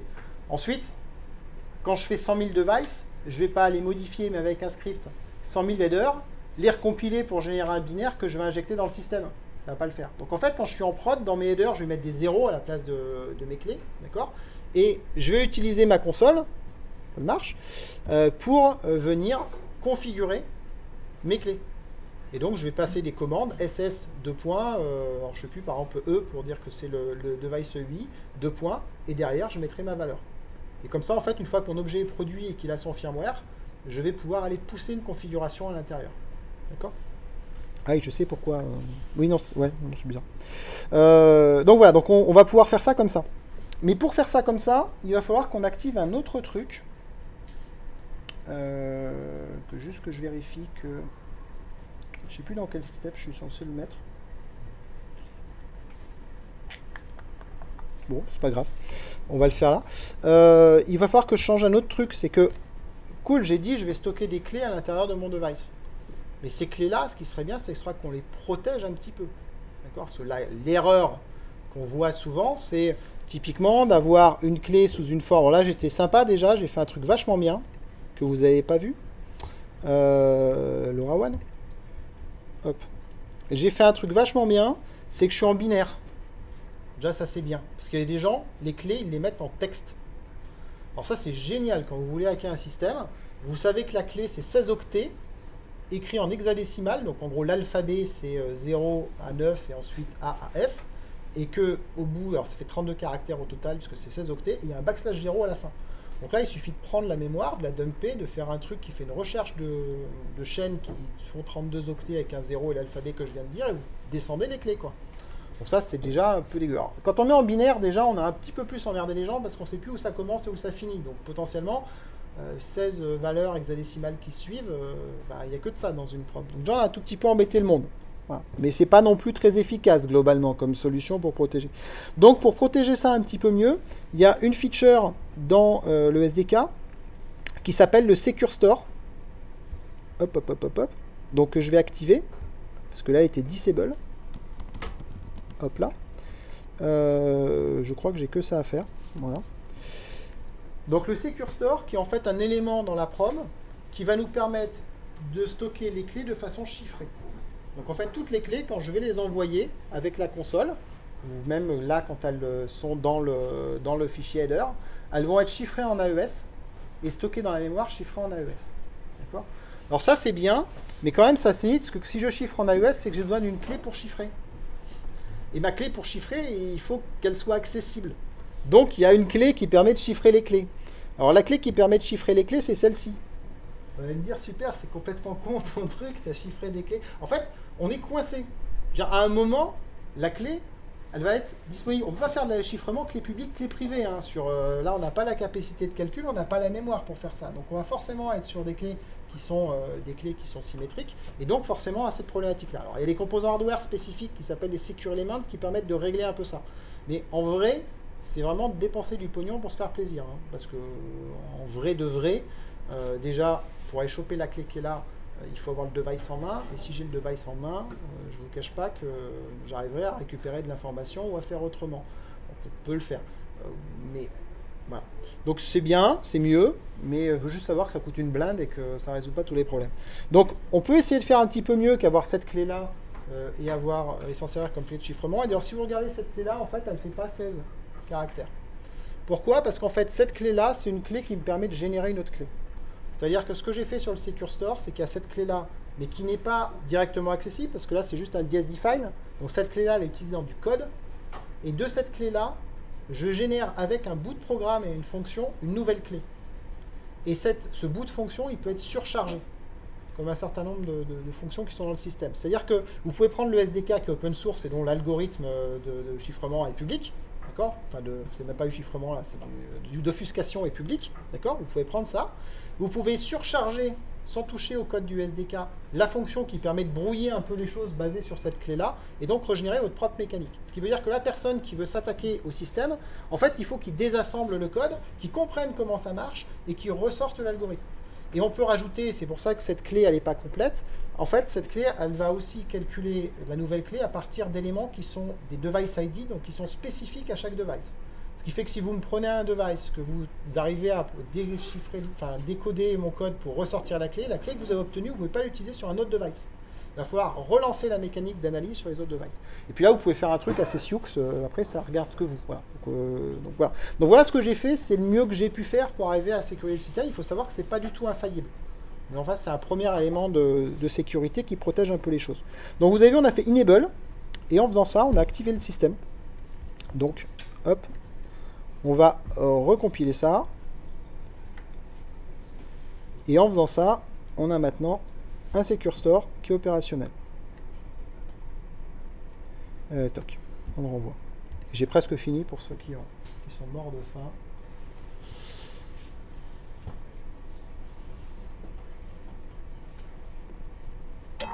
Voilà. Alors ce que je sais pas, c'est si on va plus avoir euh, plus avoir de, de console là. Euh, si, si, si, si, ça, ça bloque, mais normalement, entre deux coups, je devrais quand même arriver. euh, J'ai quand même 10 secondes où je devrais avoir des trucs. Bon, là, c'est parti complètement. Alors, je vais faire un truc, c'est que. Parce que là, je crois que j'ai dû oublier un truc dans un coin. Hop, là, c'est l'avantage d'avoir. Tac. Le step 5. Euh, sauf que je suis pas sûr que ce soit dans le step 5 que j'ai fait ça. Tac, tac, tac, tac, tac, tac.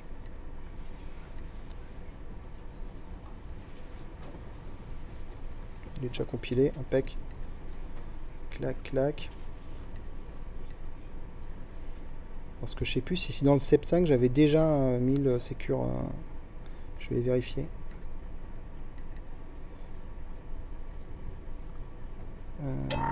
Non, là, il est encore disable, donc euh, je, vais le faire en step 6. Hop. Je vais le step 6. Pour qu'on voit cette partie-là.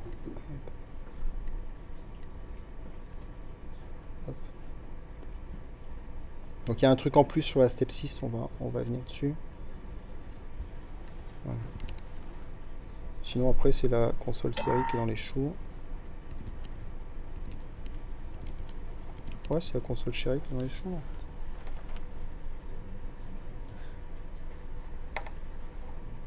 Ouais, super, c'est bien.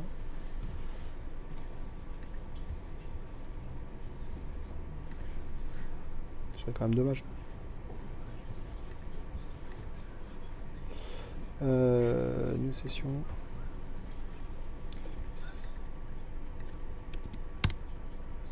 Ça n'a pas envie, hein. Ça, c'est driver FTDI aussi qui sont bien pourris. Tu débranches, tu rebranches. Ouais, je peux le tenter. Ah oui. C'est surtout l'application euh, Serial. euh, c'est la misère, les, outils série sur Mac, c'est juste une cata. Et, euh, et celui-là, il est particulièrement pas stable. Ouais, mais il a vraiment pas envie, je crois. Bon, c'est pas très grave.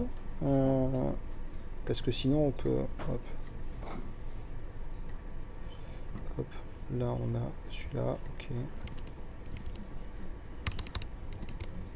Vraiment pas envie, ça. Bon, ok, pas grave. Normalement, ça marche. Euh, bon, de toute façon, qu'est-ce qu'on voit de plus en fait C'est que dans la console, on a les fonctions qui permettent à la fois de pouvoir, euh, de pouvoir euh, gérer, le, gérer les, les différents ID qui sont utilisés pour faire du LoRaWAN. Et on voit aussi que dans le Secure Store, on peut aussi faire un rekeying, c'est-à-dire je peux changer la clé et envoyer la clé par programmation. Comme ça, je peux forcer une clé différente pour chaque device. Et on voit aussi que le change me qu'on avait pour la console, lui aussi, on peut l'enregistrer dans le Secure Store de façon sécurisée. Donc je peux avoir euh, cette fois un password qui me permet de me connecter à la console qui soit spécifique au device. Ça évite d'avoir le même password pour tous les devices, parce que ça aussi, c'est le genre de truc complètement débile qu'on voit souvent. C'est admin password. Voilà. Et puis alors des fois, c'est super compliqué, c'est I am euh, the admin of the system, mais c'est la même chose partout, donc ça ne servait à rien de le faire. Il valait mieux le garder de change me, au moins on s'embêtait pas, on risquait pas de s'emmerder en le tapant. Euh, voilà, donc, euh, donc du coup, ça on va pouvoir le faire.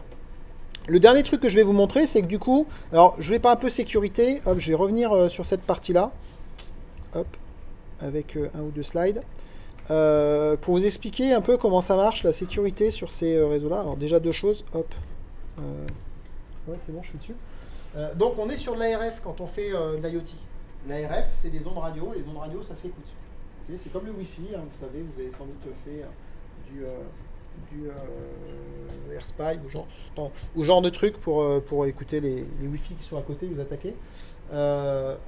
C'est pareil ici, sauf que la différence, c'est que la portée, c'est 10-15 km, voire 40-50 km. Potentiellement du monde qui va écouter. Alors, quand vous voyez des démos, on fait toujours une démo avec le SDR, on récupère les infos et tout. Alors, en général, la démo, elle se passe toujours à 1 mètre du device. C'est pas par hasard. hein. C'est parce qu'en fait, les clés SDR, elles ont une telle sensibilité qu'au-delà d'un mètre, vous entendez plus rien. D'accord? Bon, mais ça, c'est vrai, mais c'est pas vrai pour très longtemps. D'accord? Puis c'est pas vrai pour quelqu'un qui a un peu de matos. Donc, quoi qu'il arrive, il faut que les communications radio, elles soient protégées. Et pour protéger les communications, on n'a encore rien trouvé de mieux que de chiffrer les communications. Sur le Wi-Fi, ça s'appelle WPA par exemple, et ça vous permet de protéger un peu ce que vous passez. Alors, tous les systèmes euh, IoT ont un système de chiffrement, que ce soit du Bluetooth, on peut chiffrer, que ce soit du LoRa, on peut chiffrer, du Sigfox, on peut chiffrer, et c'est tous natifs, d'accord? Ils ont tous une couche de chiffrement. Donc, il faut l'utiliser. Par contre, moi, mon, message, c'est de dire il faut utiliser cette couche-là. Mais il faut surtout jamais faire confiance dans cette couche-là. Et si vous vous demandez pourquoi, vous pensez au web. D'accord Le web, le jour où c'est sorti, c'était euh, état de l'art, il n'y a pas de problème. Sauf qu'aujourd'hui, il y a encore des trucs en web et ça fait juste 15 ans qu'on pète du web en moins de 2 minutes. Donc, euh, euh, il ne faut pas faire confiance dans, cette partie-là. Et donc, pour ça, il faut rajouter, c'est mon conseil, sa propre couche de chiffrement. D'accord? Donc on peut faire du chiffrement, over-chiffrement, c'est pas gênant, hein, c'est l'équivalent de faire du SSL sur du WPA. C'est naturel, HTTPS sur WPA, on fait ça tout le temps, d'accord? Ben Là c'est pareil, en fait, il faut rajouter cette couche de chiffrement pour être à peu près tranquille. Alors, au niveau de la couche de chiffrement, il faut avoir en tête que on a un problème dans euh, l'IoT, c'est que la qualité de notre réseau n'est pas garantie. Quand on est sur l'Ethernet ou choses comme ça, euh, toutes nos trames vont arriver. On ne va pas en perdre. Si jamais il y en a qui se perdent, on demande des réémissions, ainsi de suite. Mais nous, on a le duty cycle, on a un débit qui est très faible, et on a des trames qui sont tout petites. Et donc, il y a de la perte sur les réseaux. Donc, on va être un peu emmerdé quand on va chiffrer, c'est-à-dire qu'on va être obligé de chiffrer des blocs indépendamment des autres. Parce que si je perds celui-là, il faut que je puisse quand même déchiffrer ceux qui ne sont pas derrière. Et donc, au niveau chiffrement sur de l'AES, on va utiliser, euh, si je ne me trompe pas, c'est de l'ECB, euh, qui est un chiffrement donc, par bloc indépendant. Et ce qu'il faut avoir en tête, c'est quand on chiffre une image, pour vous donner une idée avec cette méthode-là, et ben le résultat qu'on obtient, c'est ça. D'accord? Et c'est chiffré, c'est-à-dire que les pixels qui sont là, vous ne pouvez pas savoir exactement de quelle couleur ils étaient. Mais vous voyez quand même que quand on chiffre un truc d'une façon, s'il revient le même message, on va le rechiffrer de la même façon. D'accord? Et s'il change, on va aussi remarquer ça. Donc si vous avez une trame qui contient toujours la même chose, mais il y a un octet qui change quand par exemple il y a un état qui change, vous fichez de la valeur de cet état en fait. Le fait que la trame soit plus la même que les fois précédentes, eh ben, a priori c'est que l'état a changé. Vous comprenez l'idée. Donc c'est pas forcément top. Il faut avoir en tête ça quand on, euh, quand on fait ça. Le, mieux ce serait en effet que quand on chiffre un bloc, ça se base sur ce qui a été chiffré précédemment. C'est-à-dire qu'on a un vecteur d'initialisation qui dépend de ce qui s'est passé précédemment. Ça, ce serait vachement mieux. Et donc du coup, ça donnerait un truc comme ça, là, qui est vraiment offusqué. Mais ça, on peut pas le faire, parce que potentiellement, on va avoir des pertes au milieu. Alors il y a un deuxième problème aussi dans euh, les objets connectés, c'est que quand on fait un chiffrement comme ça, ici on a 16 octets qui sont chiffrés et donnent 16 octets. Donc si j'ai une trame qui fait 16, 32, 64, enfin 48, 64 octets, ça marche. Maintenant, si j'ai une trame comme sur Sigfox qui fait 12 octets, par exemple, ou si je veux économiser l'énergie, j'ai une trame de 4 octets, je ne peux pas. Parce que si je chiffre 4, ça donnera 16 en sortie. Et si je fais 4 et que je prends 4, l'info, je ne pourrais pas la, la démonter derrière. Donc, ce qui est utilisé dans euh, les protocoles LoRa, Sigfox et pas mal d'autres, c'est de l'AES-CTR. Moi, je ne suis pas expert, mais franchement, je ne ferai jamais confiance à un truc comme ça. Comment ça marche l'AES-CTR En fait, on va faire un ou exclusif pour protéger les données. La vraie vérité, c'est ça.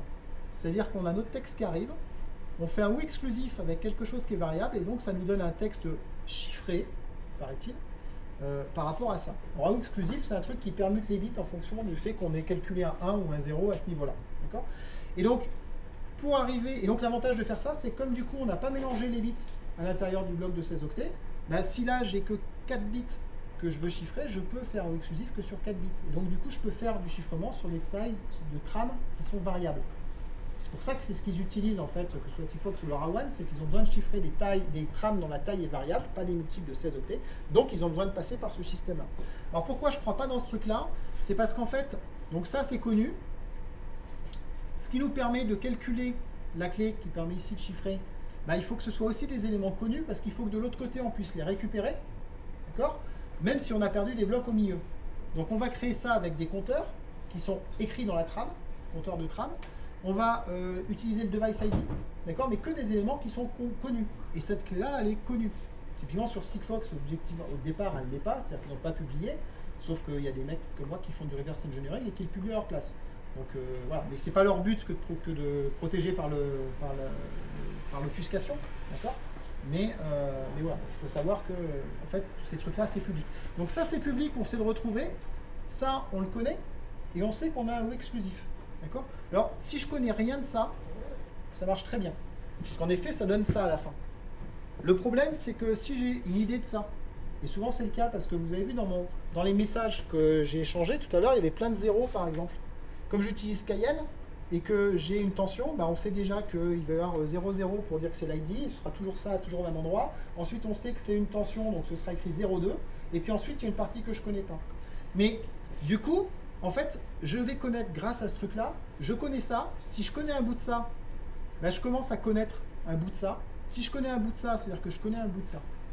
Et comme je connais ça, tout ce qui me manque, c'est la clé qui est là, et qui est partagée, ben, j'ai plus qu'à rechercher le nombre de combinaisons. Donc si j'ai un message, ça va me donner peut-être 100 000 possibilités pour trouver la clé. Si j'ai deux messages, ce sera peut-être plus que 20 000 possibilités. Si j'ai trois messages, ce sera peut-être plus qu'une possibilité. D'accord J'ai pas fait le calcul pour savoir exactement où est-ce qu'était la limite, mais clairement, elle est, euh, elle est quand même un petit peu en milieu. Voilà, donc euh, ça c'est pour vous dire qu'il y a des solutions, mais que la confiance est un peu limitée et que donc il faut surchiffrer. Et donc surchiffrer, et eh ben ça on va pouvoir le faire assez simplement avec euh, le framework, puisqu'en fait pour surchiffrer, ah, ah oui pardon, il faut que je ressorte du mode présentation. Toc, toc, merci. Donc pour surchiffrer, en fait, je vais simplement dans mon émission. Bon, je peux laisser le non parce que c'est pas grave. Le non, c'est juste hop, histoire d'avoir un 0, 0. Un peu bizarre, mais c'est comme ça. Je vais pouvoir activer deux autres systèmes de chiffrement. Donc là, on a un AES CTR. Donc l'AES CTR, c'est celui qu'on a vu. Et son problème, c'est que pour une valeur donnée, il donne toujours le même résultat. D'accord? Donc ça, c'est pas top. Du coup, je le coupe avec un spec. Spec, c'est euh, quelque chose qui euh, transforme un bloc de 32 bits en un autre bloc de 32 bits et qui par contre va vraiment mélanger les bits à l'intérieur et de façon différente à chaque fois. Donc en cumulant les deux, en fait à chaque fois, même si j'avais des bits qui étaient les mêmes, qui étaient les mêmes à un moment donné, eh ben, ils vont être déplacés et donc euh, ça va correctement brouiller le message. Et donc en faisant ça, je l'ai activé. Donc ça veut dire que j'ai des clés supplémentaires qui sont utilisées, qu'on trouve dans le config.c. Donc voilà, donc ici on trouve la clé spec qui est utilisée. Euh, on trouve ici la master key qui est utilisée pour l'AES euh, CBC, ainsi de suite. D'accord? Donc là encore, ces clés-là, elles utilisent le Secure Store. Donc ici, je les ai mis dans fichier .h, ça me permet d'aller vite, mais sinon en prod, je mets des zéros et je les injecte au moment où je fais la, programmation.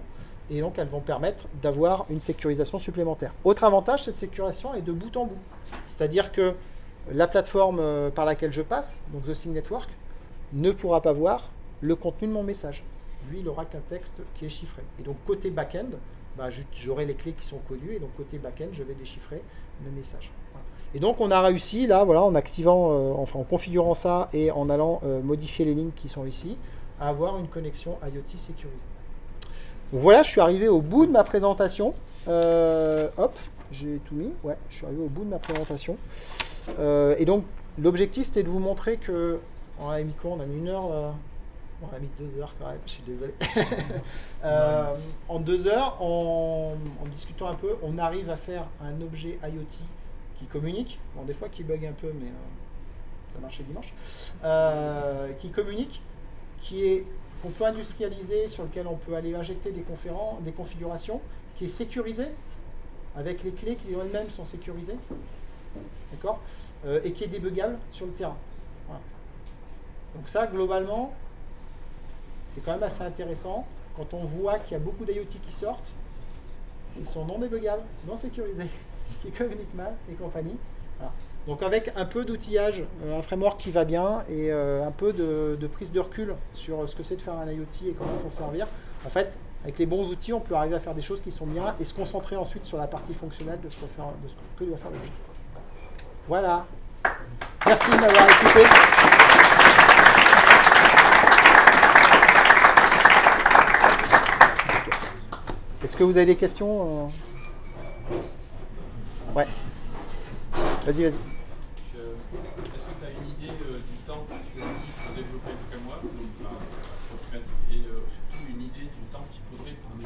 adaptateur pour euh, un autre, euh, un autre hardware Ouais. Euh, donc, je sais pas, il faut que je répète les questions ou pas euh? Bon, je, au cas où. C'est- pour le, monde sur YouTube. Euh, ta question, c'est de savoir si euh, combien de temps j'ai mis pour développer tout ça et, euh, est-ce que combien de temps il faudrait pour aller sur un autre hardware. Alors, combien de temps j'ai mis pour le développer? Euh, plusieurs centaines d'heures sans doute. Voilà. Euh, après, je fais ça le soir et le week-end, donc du coup, c'est un peu difficile de vraiment euh, compter quoi.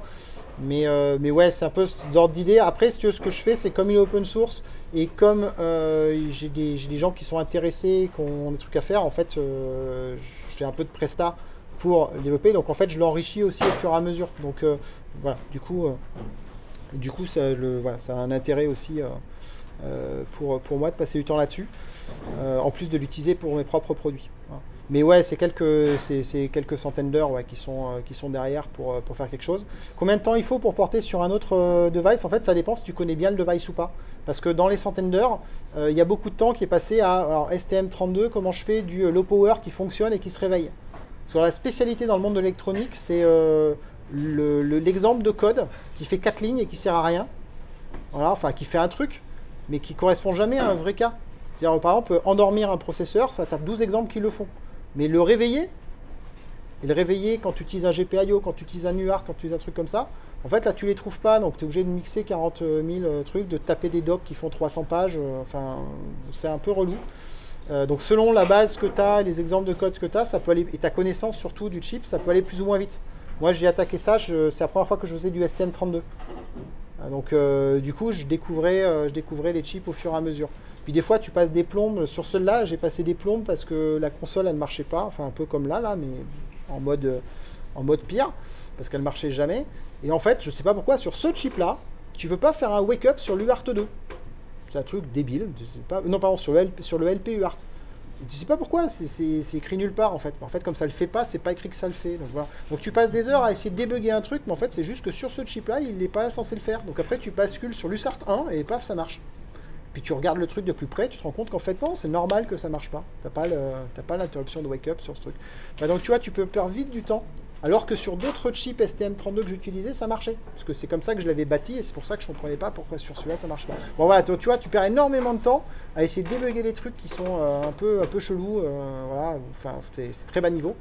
Et, du coup c'est dur de l'estimer. Mais on va dire euh, en termes de ligne de code à écrire pour le porter sur une autre plateforme, ça doit être moins de 1000 lignes. Donner une idée. Voilà. Mais par contre, c'est 1000 lignes qui sont les 1000 lignes qui demandent de vraiment connaître le système. Donc euh, c'est les 1000 lignes où tu peux passer beaucoup de temps à débugger. Mais en termes de quantité, il n'y a pas énorme aujourd'hui. Voilà. Ouais. Euh, tout à l'heure, tu me disais qu'il y a une grosse problématique avec les IoT, c'est justement au niveau de l'autonomie. Est-ce que tu as pu mesurer l'impact de ton framework sur l'autonomie en fait, des objets euh, sur lesquels tu utilises? Alors, donc ta question c'est euh, l'impact du framework sur l'autonomie et mesurer ça. Alors, j'aime mon framework en soi, il implémente euh, un deep sleep. Euh, y a toute personne qui fait un IoT doit implémenter un deep sleep. D'accord? Donc éventuellement, le framework là où il peut avoir un impact, c'est qu'il a tout un tas de mécaniques qui redémarrent à chaque fois. D'accord? Parce qu'il faut vérifier si les schedulers, s'il y a des choses qui sont terminées, ainsi de suite. Et donc, à chaque redémarrage, il y a un petit peu de temps qui est utilisé par le framework, en quelque sorte. Et euh, donc, le fait d'utiliser un, un framework, potentiellement, c'est moins optimisé que si tu te faisais ton code spécifique à ton device. Et donc, tu peux passer un tout petit peu plus de temps dans les temps de réveil. Mais comme ton temps de réveil, c'est euh, au maximum 1%, voire plutôt 1 pour 1000 du temps d'utilisation, en fait, c'est sur une optimisation qui représente euh, 0,1% sur 1 pour 1000. Donc au final, ça reste. euh, Enfin, si tu veux faire un objet qui dure 20 ans avec une batterie AA classique, Euh, là, il faut que tu tunes vraiment le truc et potentiellement, tu n'as pas intérêt à utiliser un framework pour ça et vraiment tout écrire limite en assembleur. Si tu es dans un truc plus raisonnable, de dire c'est une année, deux années, ou puis sinon je mettrai les plus grosses batteries, c'est l'impact, il est quasi nul. Quoi. Voilà. Il y avait une autre main qui s'était levée à côté, je crois. Non Ouais. Euh, il me semble que oui, mais euh, le, le Ravan et Cayenne sont inclus dans ton SDK, c'est un truc à charger à part? Non, LoRaWAN et Cayenne sont inclus dans le SDK, ouais, tout à fait. Et Sigfox que je suis en train, alors Sigfox qui est inclus avec euh, du S2LP que je suis en train d'ajouter sur cette stack là, là où je galère un peu avec le code d'ST en ce moment là, mais euh, j'en suis pas loin. Donc euh, ouais, l'idée c'est vraiment qu'on puisse facilement faire des devices qui sont capables de communiquer, tu vois, en, en rajoutant un fichier header, un bout de config dedans, tu actives la, la- couche de communication et bam, euh, tu, tu commences à, discuter sur le réseau. Et c'est vraiment là qu'est euh, qu'est la valeur. LoRaWAN, tu prends le SDK de, de ST sur ce type là, bon tu le prends, tu le compiles, tu le mets dessus en 3 minutes, tu fais du LoRaWAN. Euh, mais euh, tu veux l'intégrer proprement de façon à ce que tu puisses rajouter tes propres timers ou tes propres interruptions sans que ça pète tout dans tous les sens. Donc en gros, tu reviens un peu à ce que j'ai fait. Avant d'avoir le truc qui soit propre et qui marche bien, euh, voilà, tu, passes facilement deux semaines, trois semaines. Et, parce que si tu veux, les mecs, ils ont tendance à faire du code bien dégueulasse. Des fonctions un peu cheloues, vraiment codées avec les pieds, c'est assez rigolo à lire. Euh, et puis surtout, le code, il est étalé dans 15 fichiers ou 20 fichiers différents. Tu vois, le truc que toi, tu regroupes tout ensemble pour que ça fasse tout, que ce soit clair. Eux, c'est 20 fichiers différents qui s'appellent tous les uns les autres. Et alors, tu passes des plombes à essayer de comprendre qu'est-ce qu'appelle qui, comment ça marche. Et, puis, quand tu l'implémentes, en général, il en manque toujours des bouts et que tu redécouvres un autre endroit. C'est un peu l'horreur. Donc, euh. Donc, le but, c'était aussi de sortir de ces problématiques-là parce que tous les gens qui font du LoRaWAN ou du Sigfox qui partent là-dessus, eh ben, euh, ils se lancent dans un projet, trois semaines plus tard, ça marche toujours pas, ils sont vénères, ils ont l'impression que les technos, elles sont pénibles et difficiles. En fait, c'est juste qu'à la base, on leur a filé du code pourri comme exemple, et euh, avec du code propre, en 5 minutes, ça marche, et euh, du coup, tu peux passer à quelque chose d'intéressant. Voilà. Donc oui, c'est inclus. Ouais.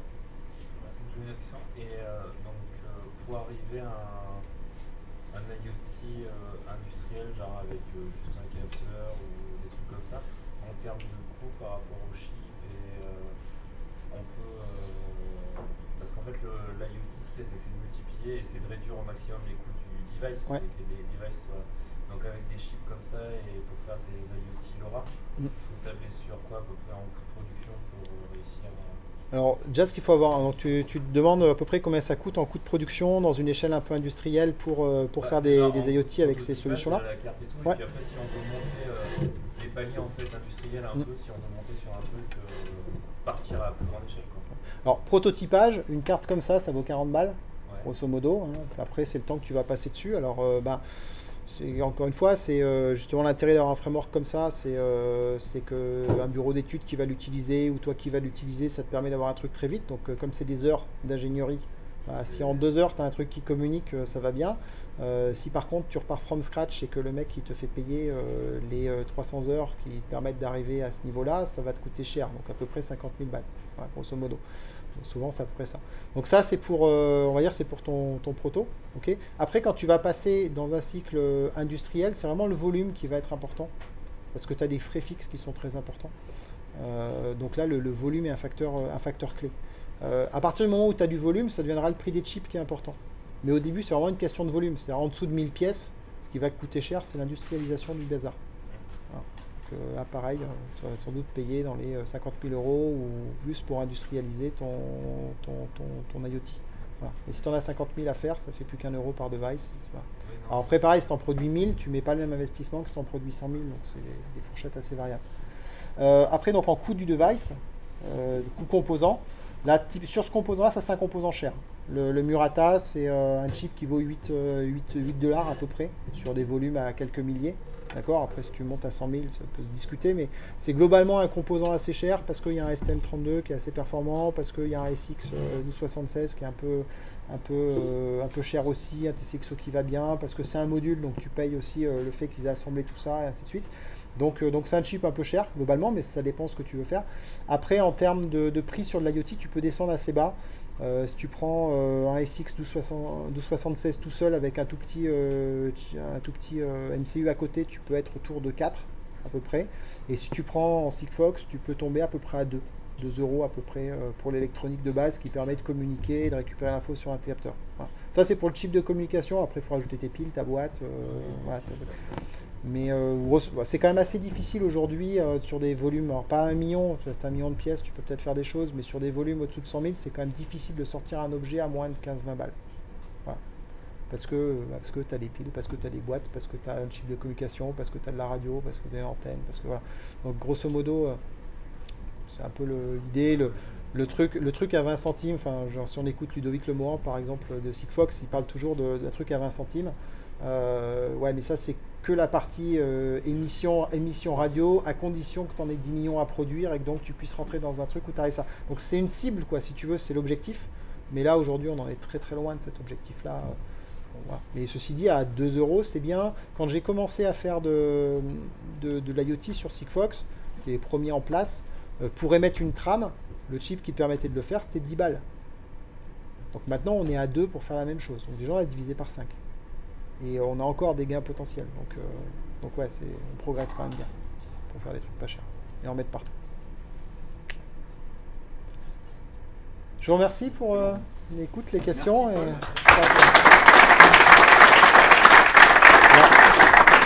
la mauvaise nouvelle, c'est que les pizzas sont froides, c'est ça? Oui, ça arrive.